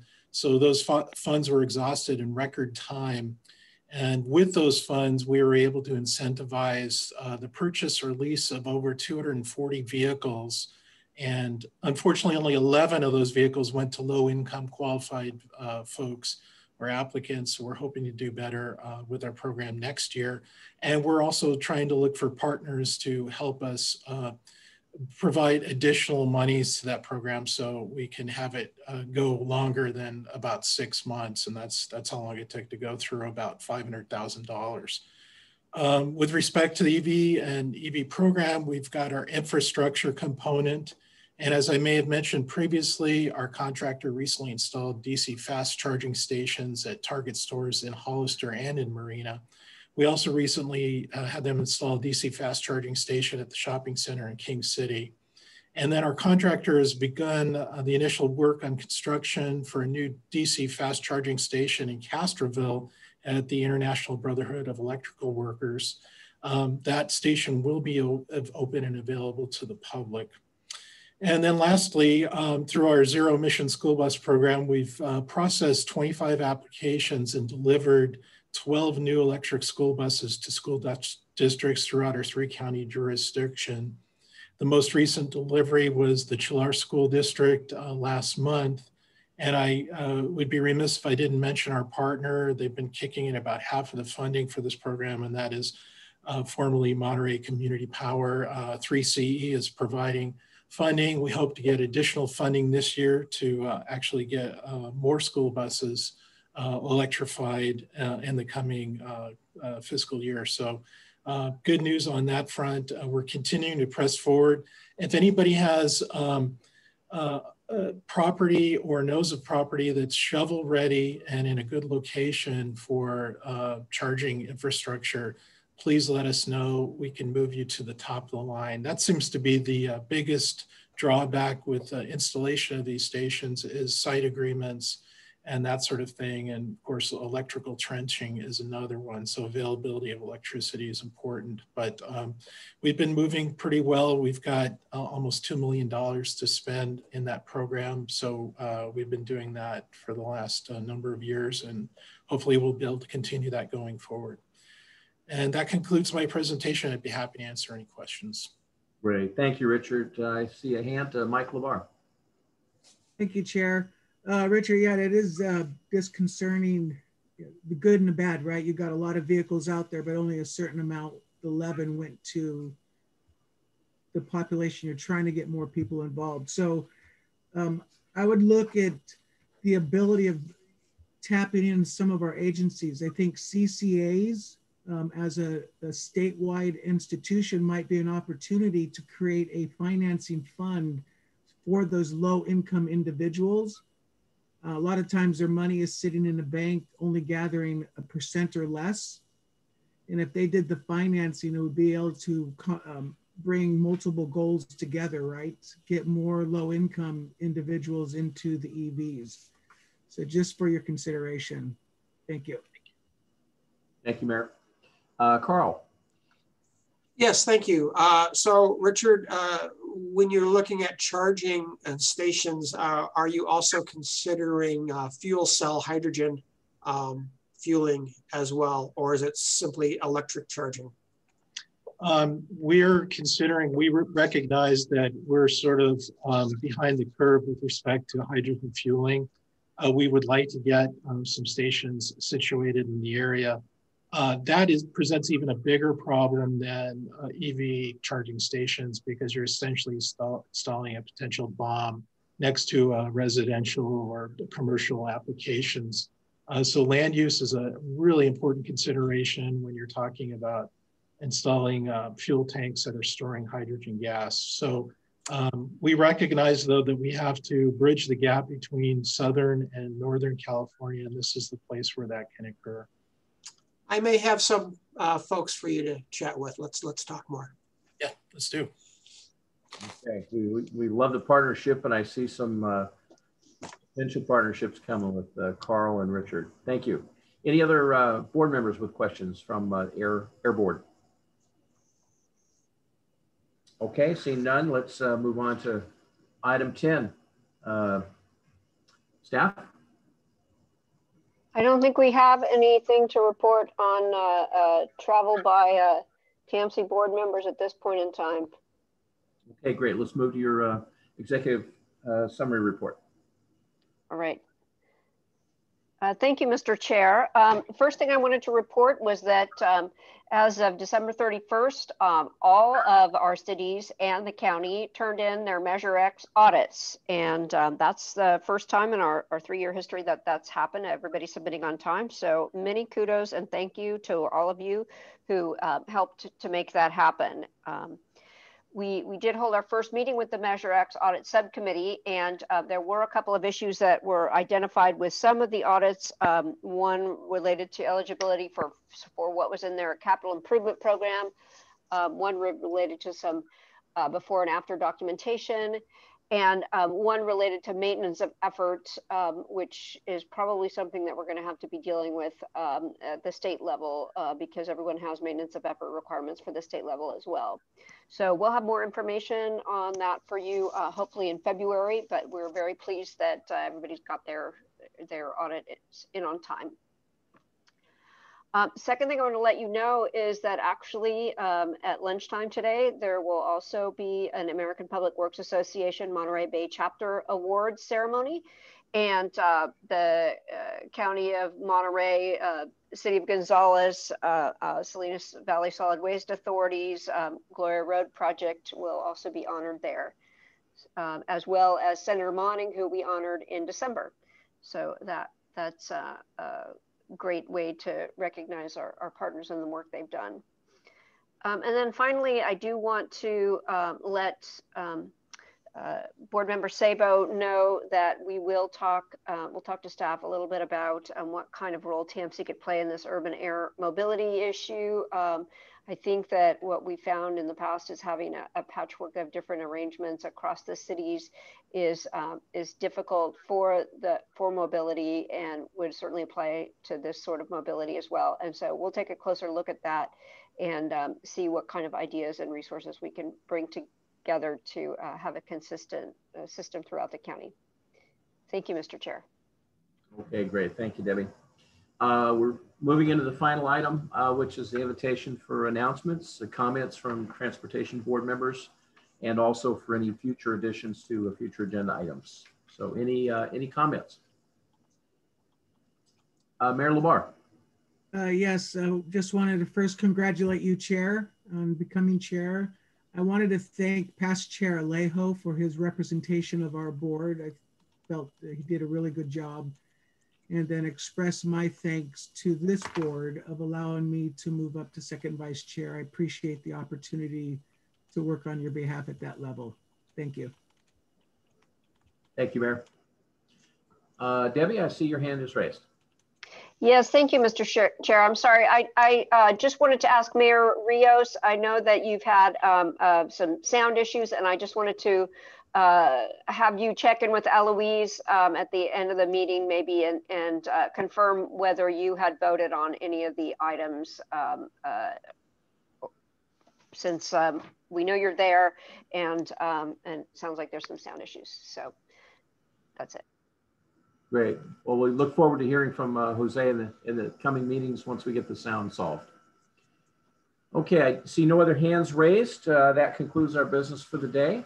Uh, Debbie, anything else before we close the meeting? No, thank you very much. Okay, thank you all. This meeting is adjourned. Thank you. Bye-bye, everyone. Happy New Year, all. Happy New Year.